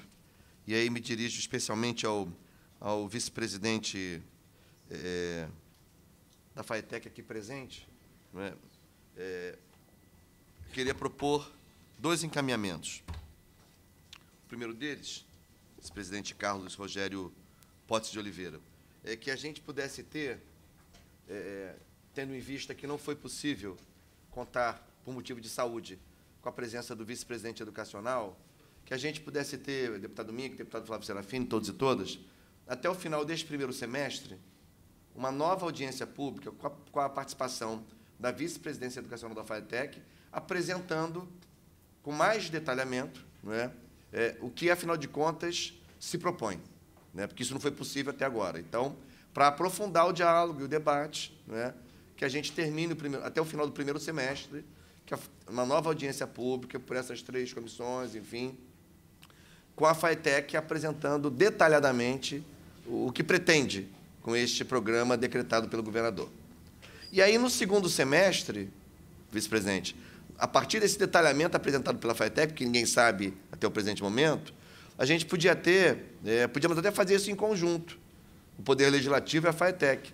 Podíamos fazer algumas audiências regionais, né, sobretudo nas, regi nas regiões com maior concentração de unidades da FATEC, para discutir esse projeto detalhado, essa proposta detalhada e ver como é que a comunidade educacional reage e opina, porque, de fato, é, tem uma certa imprecisão, para usar, usar aqui um termo generoso, é, quando se diz, viu, subsecretário Edgar, é, é, quando se diz que a, isso é o atendimento de uma demanda. Mas essa demanda foi, foi é, é, constatada a partir de que instrumentos? Não é? A partir de que interlocução com a comunidade educacional? Então, eu acho que, neste caso, cabe fazer o que não foi feito. Cabe fazer, aliás, o que deveria ter sido feito, né, não, não obstante as prerrogativas do governador, antes da decretação do programa. Mas é, o que eu estou propondo aqui, claro, sujeito a aperfeiçoamentos, que a gente possa aprofundar esse diálogo, né? seja, por um lado, fazendo uma nova rodada aqui no Parlamento, com a presença do, do vice-presidente educacional, que vai detalhar que, o que a FATEC pretende com isso, e, a partir daí, no segundo semestre, a gente poderia, mim e Flávio, fazer algumas audiências regionalizadas, itinerando pelo Estado e enfocando, sobretudo, naquelas regiões com maior concentração de unidades da FATEC, para alargar o debate, abrir a cortina e fazer uma discussão eh, democrática sobre esse ponto. Obrigado, deputado Valdec. Deputado Carlos Mink. Bem, deputado Serafine Valdec, autoridades aqui da, da FAETEC, da Secretaria, deputado Amorim, todos aqui. Eu acho que foi uma audiência expressiva, sim. Nós ouvimos aqui relatos detalhados. É, falo aqui também da professora Sheila, uma veterana, né, que, que detalhou, primeiro, várias coisas que faltam, e, segundo, vários casos é, de desrespeito é, quando estão envolvidas autoridades é, militares na educação substituindo. Eu também achei muito importante, eh, Serafine Valdec, o depoimento das, das professoras é, Cecília e Ana Luísa, quando falaram uma coisa muito importante, quer dizer, imaginar que ter disciplina significa trazer militares. Então, os atuais professores, diretores, eu acho que isso vai contra, inclusive, a própria direção da FAETEC é quase que declarar incompetente a atual direção. Quer dizer, tem que trazer militar para cantar hino e ter disciplina. Pelo amor de Deus. Né? Outra coisa, há no orçamento, né, deputados Serafine e Valdec se debruçam muito sobre isso, deputado Luiz Paulo também, uma margem de 20% para realocar.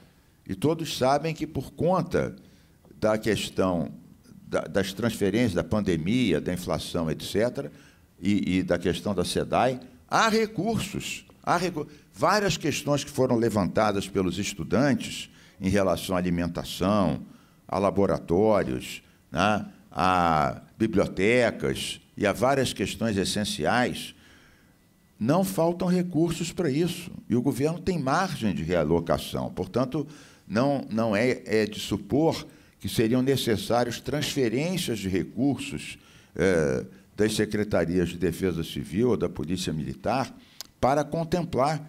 É um ano até atípico em matéria de recursos existentes e há expressamente no orçamento a autorização para transferência de recursos. Eu acho, última palavra, eh, pegando a linha do deputado Valdec Carneiro, né? sim, a gente vai dar desdobramento a isso. Né? Isso não acaba aqui, isso continua. Primeiro, nada dura para sempre. Nem o governo estadual, nem o governo federal duram para sempre. Aliás, faltam poucos meses né? para que isso eh, dê uma volta. Eh, então, eu também tenho muita paciência. Algumas leis, eu presido a comissão do Cumpra-se, algumas leis a gente já aprovar a lei e ela ser cumprida demoraram seis anos, sete anos, então não vamos esmorecer em relação a essa questão. A própria lei dos conselhos escolares, entre a aprovação dela e o início do cumprimento dela, foram 16 anos. Fundo Estadual de Cultura, a mesma coisa. Então, não, não, não, não é nada momentâneo.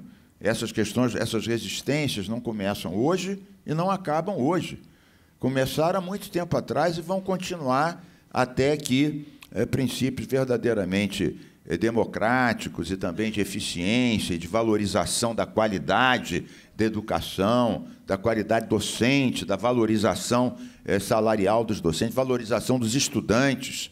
Né? Então, eu fico com a ideia, Valdec Serafini, que nós vamos sim dar desdobramento a isso, inclusive com debates nas unidades. Isso. Nós temos que, às unidades, debater com os estudantes e professores e saber, como perguntou o Valdec, de onde veio essa demanda. Da onde veio essa, foi apresentado aqui, da onde veio essa demanda? Não. Pelos depoimentos que nós ouvimos aqui, de vários professores, diretores, estudantes, ao contrário, há demandas sim, mas são de outra natureza e que não estão sendo alcançadas. Então, agradecendo a todos, dizendo isso não vai acabar aqui. Nós vamos continuar sim e vamos discutir nas unidades com vocês. Deputado Serafini. Obrigado, deputado Carlos Mink. Antes de encerrar, eu quero só fazer três observações sobre pontos que foram colocados no debate que eu acho importante destacar. Primeiro, é que não só é falacioso, como é desrespeitoso o argumento de que para existir disciplina nas escolas é preciso a presença da polícia ou de qualquer outra força de segurança. Né? O professor, historicamente, é responsável pelo processo de ensino-aprendizagem e a disciplina faz parte desse processo. Aliás, o professor e os demais profissionais de educação. Que, aliás, se não tivesse faltando tanto inspetor na rede FAETEC, tantos profissionais na rede FAETEC, além dos professores, é, hoje, provavelmente, a FAETEC poderia estar oferecendo uma educação ainda melhor do que a que já oferta. Então, primeiro elemento que eu queria destacar é que esse argumento não tem nenhuma sustentação. Né? O segundo elemento é de que a gente vê muito estatísticas que tentam comparar escolas militares, escolas cívico-militares com outras unidades. E aí é importante apurar a maneira como essas estatísticas são construídas. Por exemplo, nas próprias escolas cívico-militares que o governo do Estado do Rio de Janeiro está implementando, você tem um critério de idade rígido que não está sendo implementado na rede toda, e nem pode, porque a rede tem que ter alcance universal. As escolas cívico-militares, ao definirem que não aceitam alunos com distorção e idade séria, já fazem uma seleção que ajudam a tirar o seu caráter universal e já buscam um perfil de aluno que é um perfil de aluno selecionado. E aí, obviamente, você não pode nunca comparar escolas que fazem qualquer tipo de seleção para o ingresso para escolas que não fazem esse tipo de seleção, porque, naturalmente, você vai estar falando com, com estudantes com trajetórias diferentes. A mesma coisa no que diz respeito ao investimento. As escolas cívico-militares são escolas que recebem um investimento diferenciado. E aí você comparar com uma escola que não recebe nenhum tipo de investimento diferenciado, que falta professor, que falta inspetor, que a diretora da escola tem que correr da portaria para a secretaria porque não tem nenhum profissional de apoio, evidentemente essa comparação não pode ser feita. Eu sugiro ao deputado que trouxe números que compare, por exemplo, o resultado das escolas cívico-militares com o resultado das escolas interculturais, que são escolas da rede estadual da SEDUC, que tiveram um investimento diferenciado no passado, que tiveram ingresso de alunos com, por seleção, que hoje não tem mais nada disso, mas por terem uma proposta pedagógica mais consistente, aliás, que está sendo desmontada por esse governo, continuam obtendo resultados muito melhores do que o conjunto da rede. Ou seja, uma proposta político-pedagógica diferenciada, investimentos diferenciados significam resultados diferenciados. Né? Então, é, não pode fazer essas comparações que não são verdadeiras. É a mesma coisa que comparar uma escola militar, né, da aeronáutica ou do exército, com a nossa rede regular.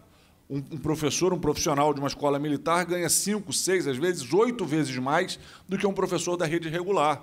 Agora, se compara com Pedro II, com o Instituto Federal, com a Joaquim Venâncio, onde eu sou professor, onde o investimento está num patamar semelhante, o resultado muda completamente. Né? Hoje, as escolas militares do Brasil não estão à frente de boa parte das escolas que eu citei aqui, que são escolas é, federais que têm um investimento diferenciado. Aliás, o próprio resultado da FAETEC, que são escolas que se dão por adesão, né?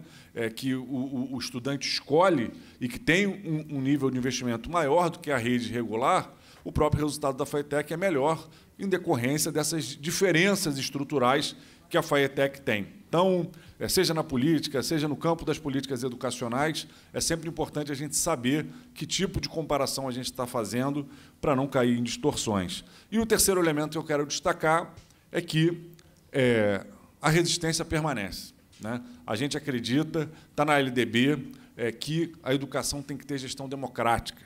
Está no Estatuto da Criança e do Adolescente que o estudante tem direito à diversidade, às diferentes identidades, e nós não vamos permitir que nenhum tipo de projeto que tente calar a diversidade das nossas escolas seja colocado principalmente diante de argumentos tão frágeis. A resistência permanece, nós vamos trabalhar para que haja algum nível de diálogo, para que essa proposta que o deputado Valdec fez aqui, da gente é, ter uma nova audiência pública com uma representação da FAETEC, onde né, a proposta pedagógica possa ser apresentada com mais profundidade e onde a gente possa debater isso, é, aconteça, assim como essa rodada descentralizada nas unidades, para a gente ouvir a comunidade escolar da FAETEC. A gente defende gestão democrática na FAETEC, com eleição para a presidência, com conselho superior participativo, justamente porque a gente quer que essa demanda da comunidade seja representada nos canais institucionais da FAETEC e, através de uma gestão democrática,